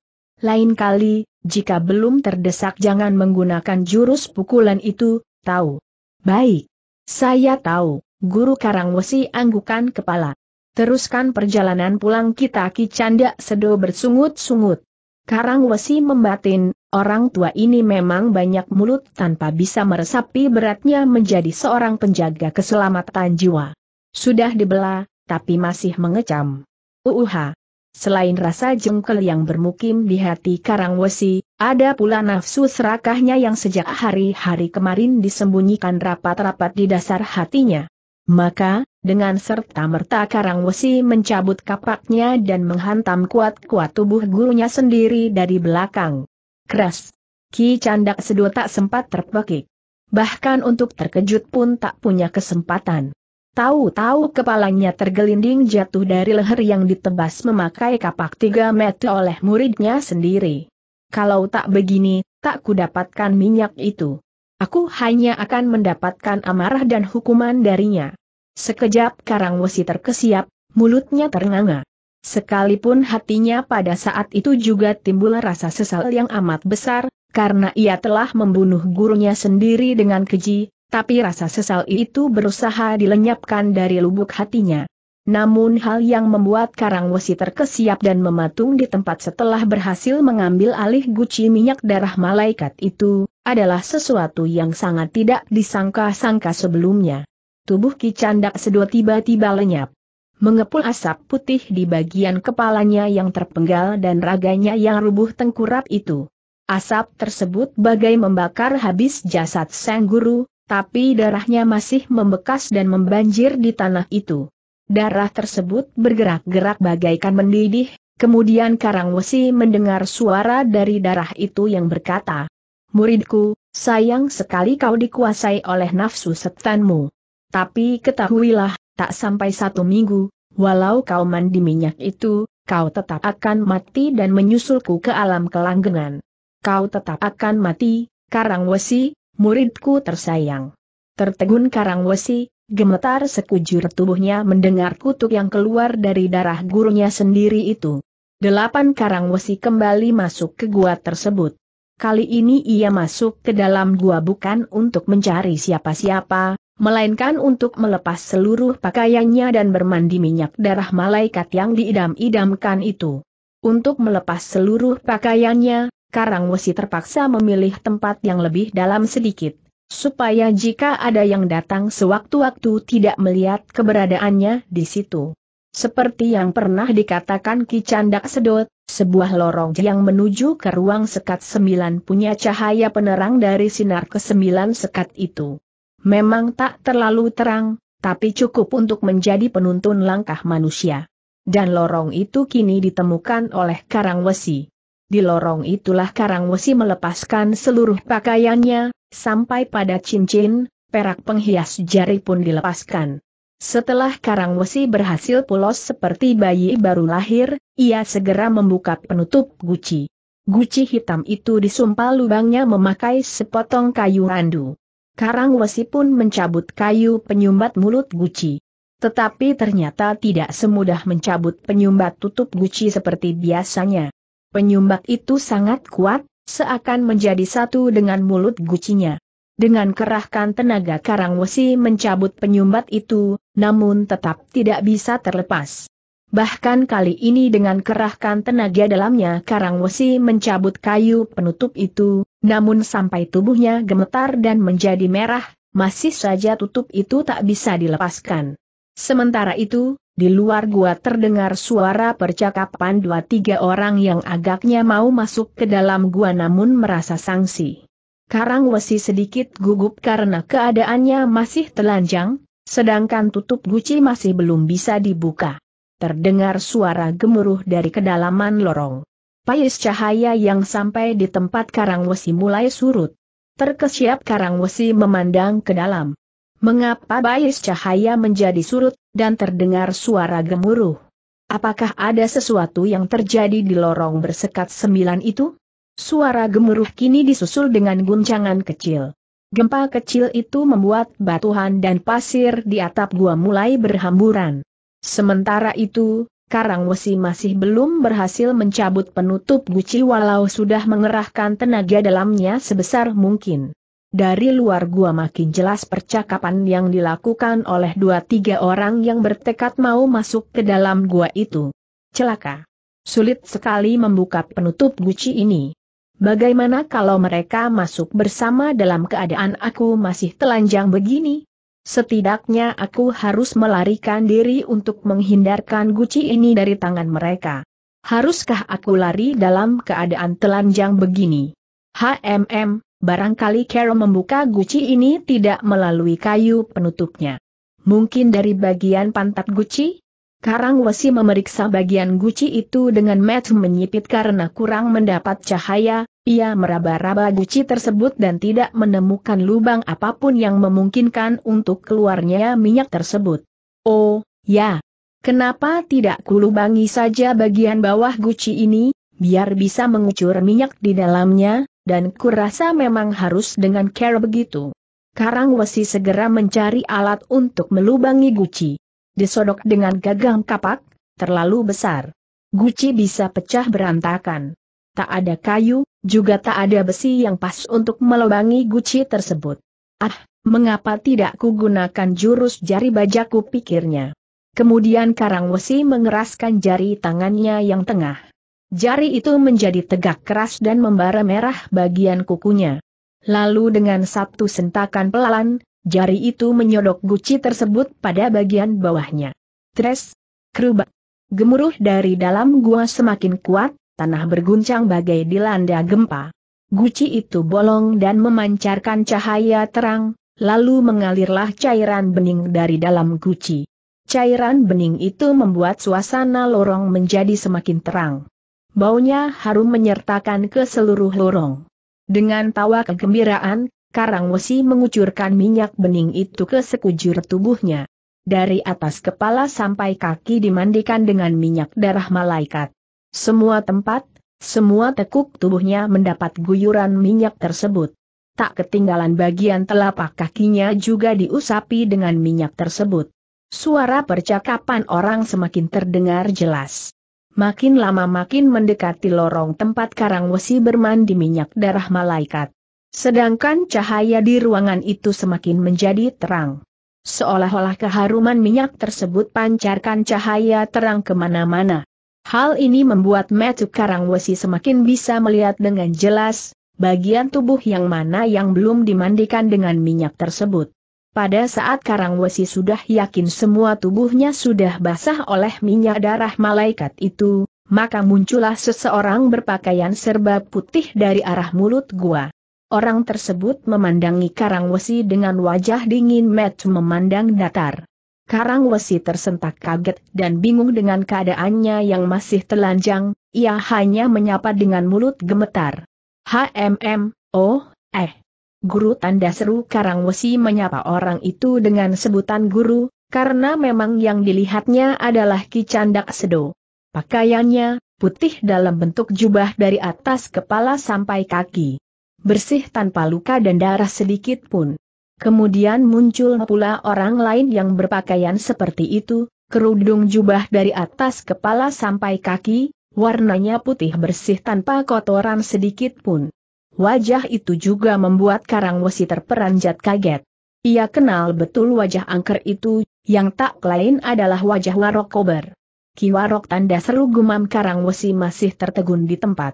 Setelah itu muncul dua sosok berpakaian kerudung putih dari kepala sampai kaki hingga kelihatan wajahnya saja. Di wajah mereka juga terbentang kebekuan dan sorot pandangan mata yang datar. Dan Karang Wesi pun mengenali wajah mereka itu, hingga tak sadar ia sebutkan kata. Setan gunung tanda seru. Cambuk guntur tanda seru.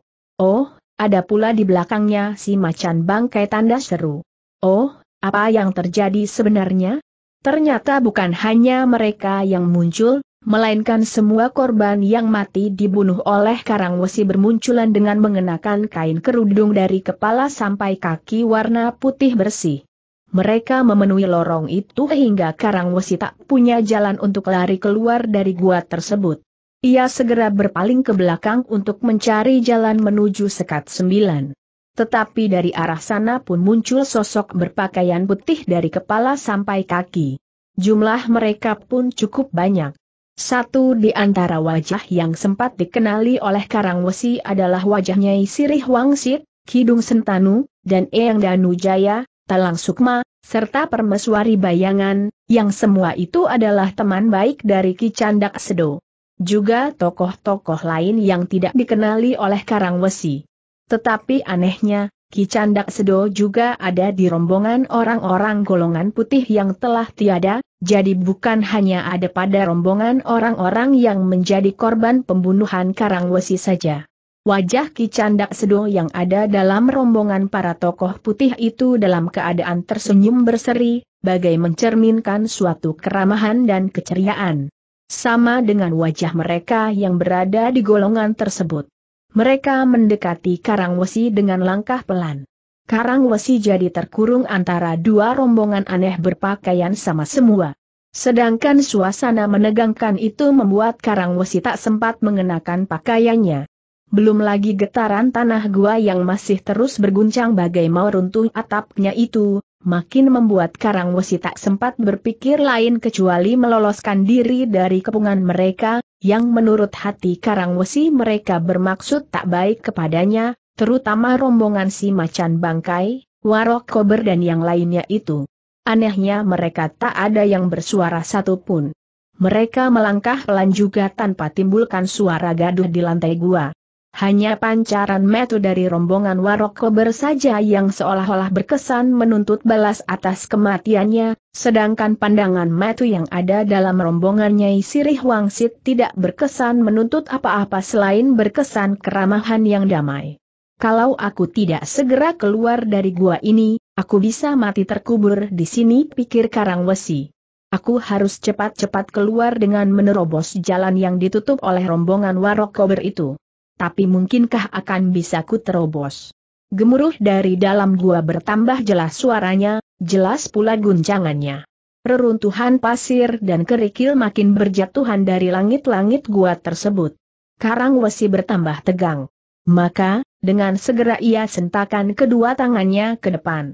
Wust! Sebuah pukulan tenaga dalam yang bernama sapu jagat itu dilepaskan oleh Karang Wesi. Gulungan angin bagai topan menghempas lepas, membuat rombongan warok kober terhempas tanpa suara, masing-masing bagai terbawa arus angin kencang keluar gua. Tak ada suara sakit, mengeluh, mencaci atau bahkan suara bergedebuk dari kaki dan tubuh mereka yang saling bersentuhan juga tak terdengar. Karang Wesi tertegun di tempat. Orang-orang yang terkena sapuan jurus sapu jagat itu bagai menembus dinding gua dan menghilang di sana, sebagian juga tampak ada yang terlempar memblok lorong menuju mulut gua. Sedangkan rombongannya Sirih Wangsit itu diam tak bergerak maju lagi, namun juga tak segera lenyap. Wajah-wajah mereka tetap ramah berseri tanpa suara apa pun. Glur! Terdengar suara menggelegar kecil di bagian dalam lorong ruang sekat sembilan itu. Tampak mulai ada debu di sana, seperti atap gua mulai runtuh. Suara itu semakin bertambah keras dan mengguncangkan tanah dengan kuat. Tubuh Karang Wesi pun terlempar di dinding kanan kiri. Sementara orang-orang rombongan Nyai Sirih Wangsit segera terlihat melambaikan tangan kepada Karang Wesi. Mereka tokoh-tokoh sakti dari golongan putih yang darahnya dipakai mandi oleh Karang Wesi. Sedangkan Karang Wesi sendiri tak mengerti apa maksud lambaian tangan mereka yang berkesan mengucapkan selamat tinggal itu. Karang Wesi hanya tahu, atap sebelah sana mulai runtuh, ia tak boleh terpaku di tempat, ia cepat melarikan diri ke arah luar dengan suara gemuruh tambah keras, guncangan tambah hebat, seakan suara gemuruh runtuhnya langit-langit gua itu semakin mengejar ke arahnya. Karang Wesi pun tak perlu memandang ke belakang lagi, ia percepat langkahnya hingga dalam waktu singkat sudah sampai di luar gua. Gemuruh suara runtuhnya atap gua semakin jelas. Guncangan tanahnya kian memburu keluar juga. Dan ketika Karang Wesi mulai melarikan diri menjauhi gua tersebut, keadaan pintu gua pun tertutup oleh runtuhnya atap gua.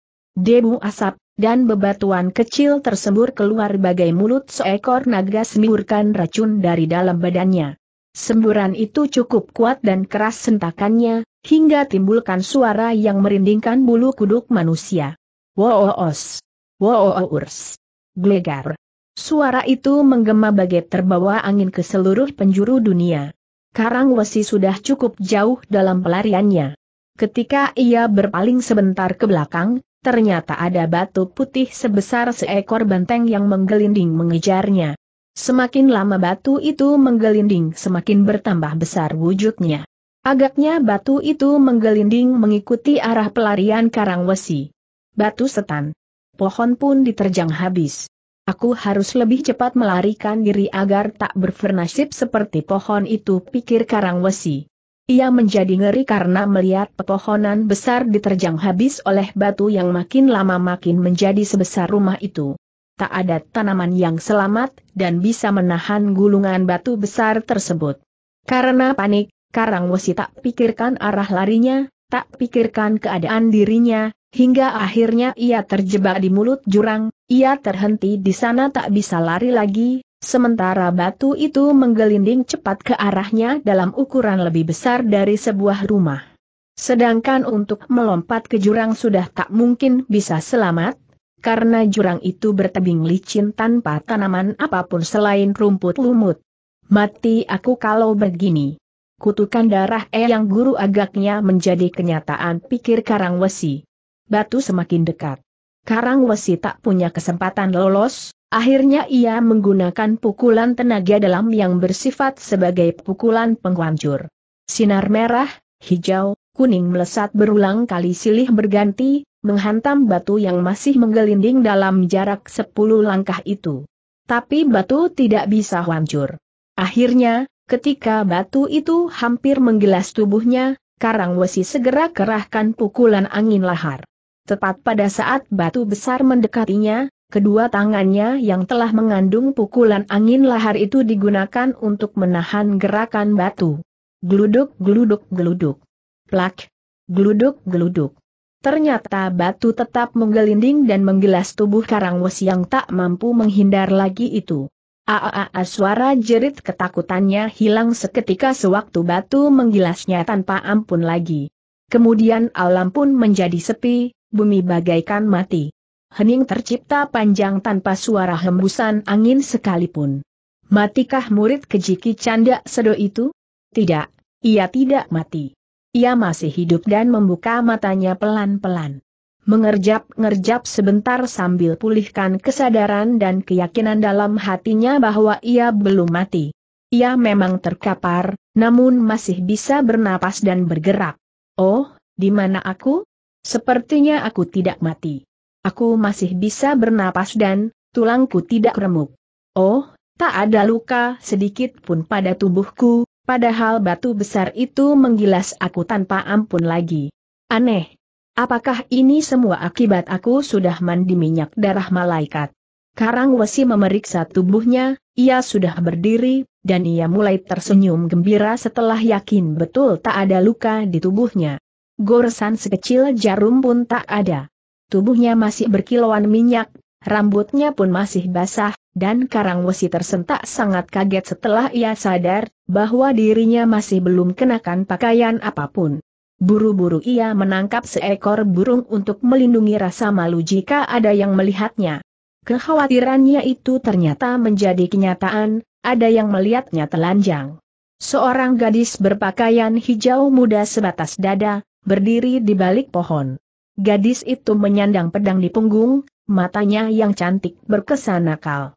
Sesekali sengaja melirik Karang Wesi sambil menahan senyum di kulum. Gadis itu tak lain adalah Andini, yang lebih dulu tiba di pelataran gua sebelum Gayatri menyusulnya. Jangan memandangku. Pandang arah lain kata Karang Wesi membentak karena panik, tak ada pakaian siapa pun yang bisa dipinjamnya, tak ada kain apa pun yang bisa dipakai sebagai penutup tubuh. Metu Karangwesi memandang jelalatan ke sana-sini, mencari sesuatu yang bisa dimanfaatkan untuk menutupi tubuhnya. Lalu ia melangkah pada semak berdaun kecil sambil tetap menangkap seekor burung hingga jalannya mirip seekor bebek yang pantatnya melenggak-lenggok demi selamatkan rasa malunya. Daun-daun semak diambilnya beberapa helai dan dijadikan alat penutup sementara untuk bagian tertentu saja. Sedangkan dari balik pohon itu terdengar suara Andini berseru di sela tawa yang mengikik geli, sayang sekali aku tidak mengenakan jubah. Kalau aku kenakan jubah akan ku sembunyikan kau di dalam jubahku. Diam bentak Karang Wesi marah sendiri karena kepergok bugil begitu dan tak mampu menghadapi rasa malu. Kalau kau mau, akan kucarikan selembar daun pisang untuk menutupi tongkat wasiatmu itu godaan dini. Tinggalkan aku. Pergi sana. Tak ada yang perlu kau tunggu dariku, perempuan nakal. ada yang kuharap darimu, pendekar cabul Eje, Andini dengan menyebut Karang Wesi sebagai pendekar cabul. Aku akan berdiri memandangmu terus di sini jika kau tidak serahkan minyak darah malaikat padaku. Terkesiap mata Karang Wesi memandangi perempuan bandel itu keluar dari balik pohon. Matanya terang-terangan memandang ke arah Karang Wesi, membuat Karang Wesi bertambah gusar. Pergilah aku tak memiliki minyak darah malaikat. Tak mungkin Andini sunggingkan senyum menggoda. Kulihat kau keluar dari gua itu dalam keadaan bugil begitu. Kau berlari-lari seperti menggenggam sesuatu di bagian depanmu. Mungkin minyak darah malaikat yang kau genggam sejak tadi. Bukan. Aku menggenggam burung Raja Wali, dan bukan guci minyak darah malaikat. Hahaha Andini tertawa lepas. Jadi kau bukan menggenggam guci minyak Raja Wali, eh, guci minyak darah malaikat? Sudah kukatakan aku tidak tahu soal itu. Pergilah sana. Aku tak akan pergi sebelum kau memberikan minyak itu. Aku yakin kau telah mendapatkan minyak itu. Jika kau belum mendapatkannya, tak mungkin kau lari sampai secepat itu tanpa ada yang mengejarmu. Apakah kau tak melihat sebongkah batu menggelinding mengejarku sampai di sini? Tak ada batu, tak ada daun yang mengejarmu, pendekar cabul Andini memandang sambil geleng-geleng kepala, tetap sunggingkan senyum menggoda. Karang wesi kerutkan dahi. Benarkah tak ada yang mengejarku? Kau lari seperti pencuri yang kepergok, pendekar cabul. Aneh tanda seru lalu Matu Karang Wesi memandang keadaan sekeliling, ternyata tak ada pohon tumbang sepanjang jalur pelariannya tadi, rumput rusak tergelas batu besar pun tak ada. Karang Wesi benar-benar bingung dan segera bertanya kepada Andini. Apakah, apakah kau melihat gua itu semburkan reruntuhannya? Reruntuhan apa? Gua itu masih utuh tapi aku yakin minyaknya ada pada dirimu, pendekar cabul. Masih utuh. Lantas, apa yang kualami tadi Karang Wesi terbengong-bengong semakin bingung. Aneh semuanya. Dan, aduh, daun ini rupanya punya getah yang bikin gatal. Uuha, tak tahan aku dengan rasa gatalnya. Mau digaruk, malu. Tidak digaruk, gatal sekali. Aduh, bagaimana ini Karang Wesi semakin salah tingkah, Andini bertambah nakal memandang. Sembilan Karang Wesi penasaran, ia ingin membuktikan kata-kata gadis yang belum dikenalnya itu. Menurut pengakuan Andini, ia hanya melihat Karang Wesi keluar dari gua dengan berlari terbirit-birit dengan sangat ketakutan. Andini mengikuti larinya Karang Wesi dari tempat tersembunyi. Dan ia melihat Karang Wesi sering berpaling ke belakang dengan wajah makin cemas. Andini hanya melihat keadaan Karang Wesi yang lari sendirian tanpa melihat batu besar mengejar pria itu. Bahkan Andini sempat merasa heran melihat Karang Wesi tiba di bibir jurang, lalu sentakan tangannya melepas pukulan tenaga dalam, dan akhirnya menjatuhkan diri sampai beberapa saat baru bangkit, Andini menyangka orang yang telanjang itu adalah orang gila. Pengakuan Andini itu didukung dengan keadaan pohon yang pernah dilewati Karang Wesi dalam keadaan utuh. Padahal tadi Karangwesi melihat pohon itu tumbang lebih dari 30 pohon jumlahnya yang terhantam batu besar. Ternyata pohon-pohon itu tetap utuh, dan yang lebih mengherankan, ternyata mulut gua itu pun tetap utuh, terbuka tanpa ada bekas reruntuhan sedikit pun. Maka timbullah pertanyaan-pertanyaan di dalam hati Karangwesi tentang apa yang dialaminya sebenarnya suatu hayalan atau gangguan penglihatan karena aku mandi minyak darah malaikat? Barangkali minyak darah malaikat ingin membuktikan padaku, bahwa tubuhku telah menjadi kebal dan tak mampu digelas batu sebesar itu. Atau mungkin semua yang kualami ini hanya impian Matt Melek saja? Tapi bagaimana dengan wajah-wajah berkerudung kain putih dari kepala sampai kaki itu? Apakah itu juga mimpi? Karang Wesi termangu-mangu di depan gua, memikirkan keanehan itu sambil tak sadar menggaruk-garuk bagian yang ditutup daun itu. Ia juga tak sadar kalau daun itu rontok satu persatu akibat garukan tangannya. Sementara itu, Andini menunggu di belakang Karang Wesi di balik sebatang pohon jati merah. Perempuan yang kenakan pakaian pinjung hijau sebatas dada itu bukan menunggu untuk melihat kepolosan tubuh Karang Wesi, tapi menunggu untuk mendapatkan janjinya.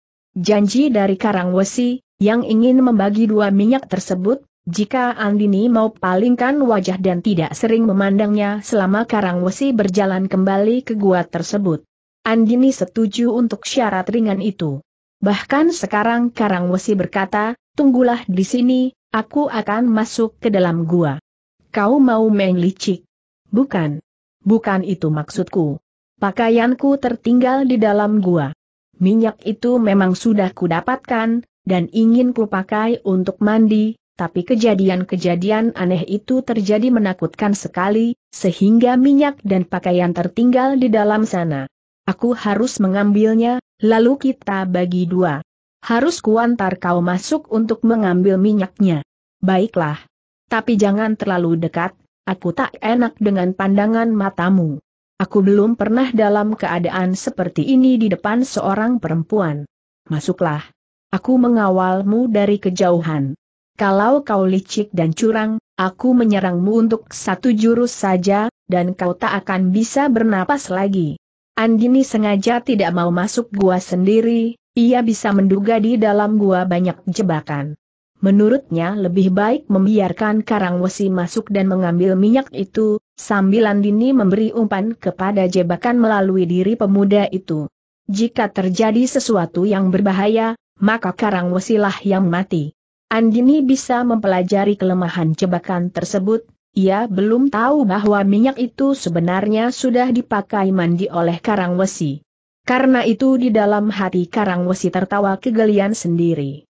Andini mudah ditipu, ia segera kenakan pakaian secepatnya dan ia mengambil guci kosong itu dengan menutup lubangnya agar tidak dilihat Andini. Semua yang dilakukan Karangwesi itu dalam pengawasan Andini dari jarak jauh. Ketika Karangwesi mengangkat tangan yang memegang guci dengan tersenyum, Andini pun sunggingkan senyum kegembiraan. Setidaknya ia bisa mendapatkan separuh bagian dari minyak itu. Tetapi dalam hatinya ia berkata, kalau perlu ku tebas batang lehernya biar minyak itu menjadi milikku semua. Tapi kalau kelihatannya tidak memungkinkan, jangan kulakukan, karena itu akan membuat aku tak memiliki minyak sedikit pun nantinya. Tetapi tiba-tiba hati Andini kembali bertanya-tanya tentang beberapa kejanggalan yang ditemuinya, dan hal itu membuatnya semakin curiga kepada Karang Wesi. Mengapa ia lari dalam keadaan telanjang? Tubuhnya basah oleh cairan, dan cairan keringatkah itu? Mengapa sampai pada rambutnya juga basah? Mengapa dia berbau harum mempesona? Bukankah menurut cerita mendiang guru, siapa pun yang memakai atau mandi minyak darah malaikat, tubuhnya akan selalu berbau harum? Dan mengapa ia dengan mudah sepakati perjanjian untuk menyerahkan separuh minyak padaku? Jangan-jangan dia sudah pakai itu minyak untuk mandi? Oh, celaka kalau begitu. Bisa ku tebas tanpa ampun dia kalau benar telah menggunakan minyak itu dan mengelabiku. Karang Wesi melangkah keluar dari gua tersebut sambil menggenggam guci tempat minyak yang tak seberapa besar itu.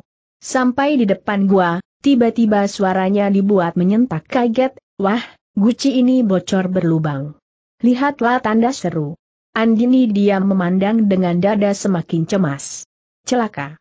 Minyaknya habis dan tak ada setetes pun di sini. Periksalah sendiri. Periksalah sambil Karang Wesi menunggingkan guci, menunjukkan bahwa tak ada setetes minyak yang keluar dari lubang di bawah guci itu. Bagaimana ini? Tak ada minyak dalam guci ini. Andini? Tentu saja, karena minyak itu telah kau pakai untuk mandi, Karang Wesi. Tak sadar tangan Karang Wesi menggaruk-garuk lagi tempat yang tadi dibungkus daun bagai lontong tanpa isi. Getah daun atau bulu daun itu timbulkan rasa gatal melebihi daun talas. Sambil menggaruk-garuk tempat yang gatal, Karang Wesi sunggingkan senyum dan berkata, syukurlah kalau kau sudah tahu semua itu. Tapi kau masih beruntung, karena kau bisa menikmati keadaanku tanpa selembar benang pun, dan kau bisa mendapatkan guci bekas tempat minyak darah malaikat ini. Ku berikan padamu, Siapa tahu suatu saat berguna untuk satu keperluan. Mungkin bisa kau gunakan sebagai celengan. Setan kau, Karang Wesi geram Andini tak sabar lagi. Kemudian ia tebaskan pedangnya ke leher Karang Wesi dengan satu sentakan kebencian, hah, beb, wut. Pedang itu meleset dari sasaran.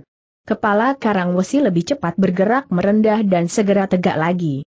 Ia belum berani mengambil sikap untung-untungan dan mencoba-coba terhadap keampuhan minyak yang dipakainya mandi.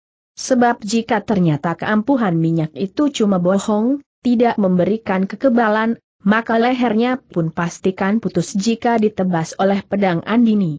Maka, Karang Wesi masih berusaha menghindar, namun belum melepaskan satu serangan pun. Hiaat Andini makin penasaran, dua kali serangannya meleset. Kali ini ia kibaskan pedangnya untuk memenggal lengan Karang Wesi. Kibasan itu sangat cepat dan kencang. Bet. Prang. Metu Karang Wesi terkesiap melihat tangannya tetap utuh tanpa luka dan lecet sedikit pun. Ketika pedang tadi memenggal tangan, terjadi percikan api sekejap, seolah-olah pedang itu membentur besi baja yang amat keras. Berdebar bangga dan girang hati Karang Wesi melihatnya. Untuk selanjutnya, Karang Wesi sengaja tidak menghindari serangan jurus pedang Andini yang makin membabi buta itu. Terang-terang-terang, sereng, terang. Andini semakin jengkel dan penasaran. Jurus pedangnya bukan sekadar jurus biasa, tapi mempunyai saluran tenaga dalam yang cukup tinggi. Bukan hanya percikan api saja yang keluar dari penggalan dan tebasan pedangnya, tapi sinar bertenaga dalam itu pun ikut keluar bersama tebasan pedangnya. Hanya saja, sinar-sinar itu pun tak bisa melukai kulit tubuh Karang Wesi. Bagian tangan, kaki, kepala, perut, punggung, semuanya sudah dicoba oleh Andini untuk dilukai, tapi tak berhasil. Bahkan untuk memotong daun telinga pun pedang itu tak mampu melakukannya. Hahaha Karang Wesi tertawa kegirangan terbahak-bahak. Sementara itu, Andini melesat mundur empat tindak. Jangan merasa bangga dulu, Karang Wesi. Terimalah jurus pedang langit pitu ini. Hiaah. Pedang itu dibabatkan ke samping kanan kiri dengan cepat, lalu tiba-tiba disentakan ke depan dengan tangan kiri Andini ke atas lurus dan satu kakinya ke belakang lurus, kaki satunya sedikit merendah. Maka, zlap. Seberkas sinar biru tanpa putus melesat cepat menembus dada Karang Wesi. Sinar itu jelas-jelas menghantam pertengahan dada, namun dada itu tak bisa bolong. Sinar itu hanya melesat mengitari tubuh Karang Wesi, berlarian ke sana-sini, tanpa bisa melukai. Padahal cukup lama sinar biru tanpa putus itu menerpa dada lawannya, bahkan berpindah ke pusar segala, tapi tetap tak bisa menembus atau membakar tubuh Karang Wesi. Bahkan pakaiannya pun tak bisa robek atau terbakar. Pedang Sukma Matahari. Hiaah. Zlub. Sinar merah melesat dari ujung pedang yang dipegang dua tangan itu. Sinar merah tersebut sedikit lebih besar ukurannya dari sinar biru tadi. Gerakannya juga lurus tanpa putus membentur tengah kening karang wesi. Tapi kepala itu tak merasakan panas sedikit pun, karena memang sinar merah hanya bisa berloncatan ke sana-sini tanpa bisa melukai sedikit saja. Hahaha makin terbahak-bahak Karang Wesi melihat kenyataan yang dialaminya. Semakin bangga dia akan dirinya sendiri yang tak mempan ditembus sinar bertenaga dalam ataupun senjata setajam pedangnya Andini. Ah-ah Andini terpental jatuh terguling-guling. Pedangnya sendiri sampai lepas dari tangan dan terpisah jauh dari dirinya. Mata Andini terbeliak-beliak ketika dihampiri Karang Wesi mulutnya keluarkan darah kental, juga dari lubang hidungnya. Wajah Andini menjadi pucat pasi dalam waktu singkat. Ini hukuman bagi perempuan yang suka pandangi tubuhku dalam keadaan polos. Kau harusnya tahu, Andini, aku paling benci dipandangi perempuan dalam keadaan polos, sebab itu sama saja perempuan tersebut telah tahu seluruh rahasia hidupku.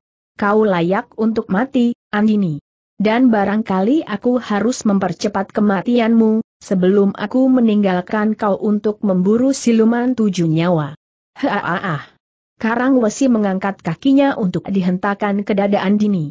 hentakan kaki itu diperhitungkan akan mempercepat kematian Andini, karena Karang Wesi menyalurkan tenaga dalamnya ke telapak kaki. Tapi sebelum hal itu terjadi, tiba-tiba tubuhnya tersentak ke depan dan jatuh melompati tubuh Andini. Karang Wesi merasa mendapat dorongan tenaga yang cukup kuat dari belakang, sehingga kekokohan kakinya yang saat itu hanya satu yang dipakai berdiri itu menjadi berkurang. Maka ia pun terlempar ke depan. Tenaga besar yang menyentaknya dari belakang itu tak lain adalah pukulan jarak jauh Gayatri yang datang tepat pada waktunya. Gayatri segera menghampiri kakaknya sambil berseru cemas, Andini tanda seru. Ia ingin merunduk untuk menolong kakaknya, tapi tiba-tiba Karang Wesi menghampirinya dengan langkah cepat, lalu menendang wajah perempuan yang rambutnya meriap ke depan itu. Plok! Wut! Tubuh Gayatri terlempar ke belakang dan jatuh berguling. Tapi ia segera bangkit walaupun merasa sakit pada bagian dagunya, ia segera mencabut senjata trisulanya sambil menggeram, kau telah melukai kakakku, kau harus tebus dengan nyawamu. Hahaha. Kakakmu pakai pedang tadi. Dia tebas seluruh tubuhku, tapi tak ada yang bisa melukai tubuhku. Apalagi kau, hanya bersenjata trisula seperti itu, aha, pulang sajalah. Ambil pusaka milik bapakmu biar kau bisa melukai tubuhku, atau pusaka itu sendiri yang nantinya akan hancur. Setan jahanam kau. Hiaah Gayatri sentakan trisulanya ke perut Karangwesi dengan kuat. Wut, trak, trisula itu patah seketika, kulit dan baju Karangwesi tidak luka atau robek sedikit pun. Gayatri makin panas hatinya. Kemudian ia menggunakan pukulan dari jurus tapak geledek. Tangan kanannya menggenggam kuat-kuat dan disentakan ke depan, begitu hampir tiba di dada lawan genggaman itu terbuka dan cahaya biru pendar-pendar melesat bersama hantaman telapak tangan di dada lawan. Blar! Gayatri terlempar ke belakang, jatuh berguling-guling membentur pohon di belakangnya, ia sendiri yang segera muntahkan darah dari mulutnya walau tak banyak. Sedangkan Karang Wesi hanya tertawa terbahak-bahak, lalu menghampiri Gayatri. Rambut Gayatri dijambaknya, diangkat ke atas sehingga tubuh itu terpaksa ikut berdiri. Terdengar suara Andini berseru dengan tertahan, lepaskan dia. Jangan lukai dia dan jangan sentuh dia lagi. Lawanlah aku. Plak. Karang Wesi menampar keras wajah Gayatri hingga gadis itu terlempar dengan sebagian rambut berodol di tangan Karang Wesi. Kemudian Karang Wesi membalikan badan dan melihat Andini sedang berusaha untuk bangkit namun tak bisa. Kalau dia adikmu, maka sepantasnya dia menerima pelajaran itu, supaya dia tahu bahwa aku orang yang tidak boleh diremehkan. Dia dan kamu harus tunduk padaku. Hiaat Gayatri bangkit dan menyerang dengan satu lompatan ke arah Karang Wesi. Dengan cepat pula Karang Wesi melepaskan pukulan dalam sinar kuning. Sinar kuning itu melesat cepat sebelum Gayatri mendekatinya, tapi tiba-tiba sinar kuning itu pecah di udara karena berbenturan dengan sinar hijau yang datang dari arah samping. Blar! Gayatri terpental lagi akibat gelombang ledakan dan angin kencang yang ditimbulkannya dari benturan dua sinar itu. Gayatri jatuh terpuruk dengan napas tengah-engah, sedangkan Karangwesi hanya mundur satu tindak, sedikit guncang tapi ia segera palingkan pandang ke arah datangnya sinar hijau tadi. Dan ia terkesiap memandang seorang pemuda sebayanya sedang meneguk tuak dengan santainya tanpa hiraukan pandangan mata orang lain. Pendekar mabuk terlambat muncul. Ini karena ia sempat mengejar siluman tujuh nyawa yang dilihatnya melesat dalam satu jarak pandang saat bersama Gayatri di perjalanan. Suto mencoba mengejar siluman tujuh nyawa, Sementara Gayatri tak mau menunggu, ia langsung menuju ke Gua Sekat Sembilan. Andai ia mau menunggu Suto Sinting, maka kehadirannya akan membuat Andini terlambat mendapat pertolongan darinya, tapi ia sendiri tak akan lama terluka dalam akibat pukulannya sendiri tadi. Siapa kau? Mengapa turut campur urusan kami? Hah gertak Karangwesi dengan mata tajam memandang. Namaku Suto Sinting. Aku tidak ikut campur urusanmu yang sedang memperebutkan minyak darah malaikat itu. Aku hanya ingin mengambil dua gadis itu untuk kubawa pulang. Mereka terluka. Suto seru Gayatri. Pergilah, tinggalkan kami. Minyak itu telah dibuat mandi oleh bangsat itu. Pergilah, jangan hadapi dia, Suto. Karang Wesi tertawa pelan kepada Suto, dengan angkuhnya ia berkata, kau dengar apa katanya? Kurasa ada baiknya kau pergi secepatnya dari sini, sebelum murkaku jatuh untukmu, Suto. Jangan coba-coba melawanku. Siluman tujuh nyawa saja akan lari kalau kuburu apalagi kau. Kau kenal siluman tujuh nyawa? Sangat kenal, jawab pendekar mabuk kalem. Dia tokoh sesat yang sakti dan berilmu sangat tinggi. Itu pun akan kuwancurkan. Dia tak akan bisa melukaiku dengan senjata el mautnya atau tenaga dalamnya setinggi apa pun. Tak akan bisa. Tapi aku akan dengan mudah menghancurkan kepalanya. Bagus ucap Suto sambil sunggingkan senyum tipis. Tapi apa sebab kau ingin membunuh dia? Kau punya dendam? Dendam pribadi, tidak. Tapi aku harus bisa membunuh dia, supaya lamaranku diterima oleh dia Sariningrum. Serap. Darah pendekar mabuk naik ke kepala dengan cepat dan dalam keadaan panas mendidih, karena ia mendengar nama kekasihnya disebut-sebut. Suto masih berusaha untuk tenang walaupun wajahnya menjadi merah. Apakah kau ingin mempersunting dia Sariningrum? Ya. Siapa pun yang menghalangi niatku akan kubunuh dan mereka tak akan bisa mengalahkan aku, karena aku sudah mandi minyak darah malaikat. Siluman tujuh nyawa itu musuh utamaku, karena dia yang berulang kali ingin memperistri dia Sariningrum dengan berbagai cara kelicikannya. Jadi dialah musuh utamaku. Bukan dia musuh utamamu, tapi aku kata pendekar mabuk dengan jelas dan tegas, membuat Karang Wesi terkesiap dengan mulut terbengong. Apakah kau murid siluman tujuh nyawa? Bukan. Tapi akulah calon suami dia Sariningrum, Gusti Mahkota sejati yang berkuasa di negeri Puri Gerbang Surgawi, di Pulau Serindu. Jelas. Nah, sekarang bersiaplah menghadapi musuh utamamu. Edan geram Karangwesi sambil melangkah pelan mengikuti gerakan kaki Suto Sinting. Kau akan mati, dan harus mati kalau begitu. Hiaah. Sinar kuning melesat, Suto menangkisnya dengan kibasan tabung bumbung tuaknya. Wut. Tubuhnya menggeloyor bagai orang mabuk, tapi sebenarnya dia sedang memainkan jurus tipuan gerak. Teras. Wos. Sinar kuning membalik, lebih besar dan lebih cepat. Dada Karang Wesi terhantam sinar kuning, ia hanya tersentak ke belakang tiga tindak, tapi tidak merasakan sakit sedikit pun. Ia hanya tersenyum dan membuat Suto mengakui bahwa kali ini ia berhadapan dengan lawan yang kebal senjata.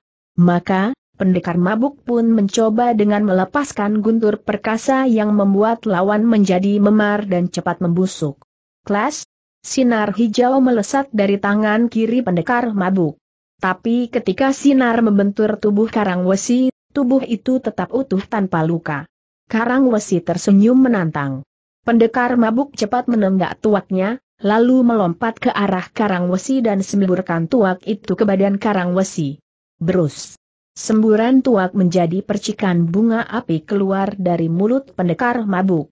Percikan itu biasanya langsung membakar benda atau orang yang terkena percikan walau setetes tapi nyatanya tubuh Karang Wesi tetap berdiri tegak tanpa terbakar sedikit pun. Bahkan ia melepaskan pukulan dari kedua telapak tangannya yang berwarna hijau pula dan menghantam bumbung tuak yang dikibaskan pendekar mabuk ke depan. Bagah! Pendekar mabuk terpental jatuh sedangkan sinar hijau itu memantul balik dan mengenai tubuh Karang Wesi. Tapi tubuh itu tidak hancur sedikit pun. Hahaha. Keluarkan semua ilmumu, Suto Sinting. Aku siap menerimanya dengan dada terbuka ledek karang wesi. Suto justru diam. Hatinya berucap kata, tidak. Tidak semua ilmuku harus kulepaskan untuk membunuhnya. Akan sia-sia saja rupanya, karena dia dilapisi kemukjizatan tersendiri. Agaknya aku harus menggunakan otot dan otak. Jika ia mandi minyak darah malaikat, tentunya sampai ke bagian telapak kaki segala, lalu, bagian mana yang tidak terkena minyak tanda seru. Pendekar mabuk melintangkan tali bumbung tuak ke dada, kini ia bertangan kosong. Masih bergerak memutar pelan-pelan membentuk lingkaran, untuk mencari kelengahan lawan yang juga ikut memutar itu. Tiba-tiba kaki Suto menyambar pedang milik Andini. Pedang itu segera diambilnya dengan satu gerakan kaki cepat, dan tiba-tiba pedang melayang lalu ditangkap tangan. Hahaha. Pedang itu lagi. Percuma, Suto. Itu bukan pedang pusaka. Buang saja ledek karang wesi, ia sempatkan diri untuk menggaruk-garuk bagian yang gatal itu. Metu Suto memandang ke sana ke bagian yang digaruk itu, lalu timbul gagasan untuk menyerang bagian yang gatal itu. Suto tak tahu bahwa bagian yang gatal itu pun terkena minyak juga. Sebaiknya kita adu senjata kata Karang Wesi, lalu cepat ia mencabut kapaknya dan serta-merta ia melompat bagaikan terbang dengan kapak siap dihantamkan ke depan. Pendekar mabuk pun berkelebat secepat kilat, tahu-tahu sudah melesat menyerang dengan pedang dikibaskan. Hus! Terang! Jelek! Pendekar mabuk sudah berdiri di tanah dengan memunggungi lawannya. Gerakan secepat setan itu membuat Gayatri dan Andini yang hanya jadi penonton menjadi kian bengong. Tak menyangka Suto mampu bergerak secepat setan. Kalau saja Karang Wesi tidak kebal, pasti sudah terpenggal oleh jurus pedang Suto. Karang Wesi pun mengakui hal itu. Pendekar mabuk menggenggam pedang itu dengan dua tangan, tubuhnya sedikit merunduk, matanya tajam memandang dengan lincah. Dan tiba-tiba Karang Wesi melepaskan jurus maut dari kapaknya, kapak itu ditebaskan dari kanan ke kiri, tapi mendadak berhenti di depan. Lalu kapak itu keluarkan cahaya merah seperti matu kapak itu sendiri. Wust! Zlap! Suto pun melepaskan cahaya ungu berbintik-bintik putih dari ujung pedangnya. Cahaya ungu itu membentur cahaya merah dan terjadi ledakan yang amat dahsyat. Jelegar. Pendekar mabuk terpental jatuh karena gelombang hawa ledakan tadi. Karang Wesi hanya tersentak mundur tiga tindak. Sedangkan Andini yang tak begitu jauh dari pendekar mabuk terguling-guling hampir masuk ke jurang. Hiaat Karangwesi melompat untuk menghantamkan kapaknya, karena ia melihat pendekar mabuk masih terkapar. Karangwesi punya kesempatan emas untuk menebaskan kapaknya di kepala Suto. Tetapi ketika tubuhnya sampai di atas Suto, si pendekar mabuk itu cepat berguling ke samping. Wut! Jerap! kapak menghantam tanah dengan kuat. Secepatnya Suto sentakan pinggulnya dan bangkit setengah berdiri, lalu ia sentakan pedang di tangannya ke arah depan. Jerus. Ah, ah Karang Wesi memekik keras dengan mata mendelik. Pendekar mabuk telah menemukan titik rawan Karang Wesi sejak ia melihat tangan Karang Wesi sering menggaruk-garuk tempat di mana ia pelihara seekor burung perkutut itu. Di sekitar itulah pasti terdapat titik kerawanan karang wesi. Di sekitar itulah pasti tak terkena minyak darah malaikat. Dan ternyata dugaan Suto memang benar, ia sengaja memancing agar diserang dalam keadaan terbaring begitu. Karena tanpa pancingan tersebut, pendekar mabuk sulit menusukkan pedang ke bagian dubur lawannya. Pedang itu kini melesak masuk separuh bagian di lubang dubur. Karang Wesi menggeliat ingin berbalik menghantamkan kapaknya. Tapi telapak tangan Suto menyentak ke depan, menghantam ujung gagang pedang itu dengan makin kuat. Jerubak. UHG Karang Wesi terkulai, pedang itu masuk seluruhnya, hingga bagian gagangnya yang terlihat dari luar.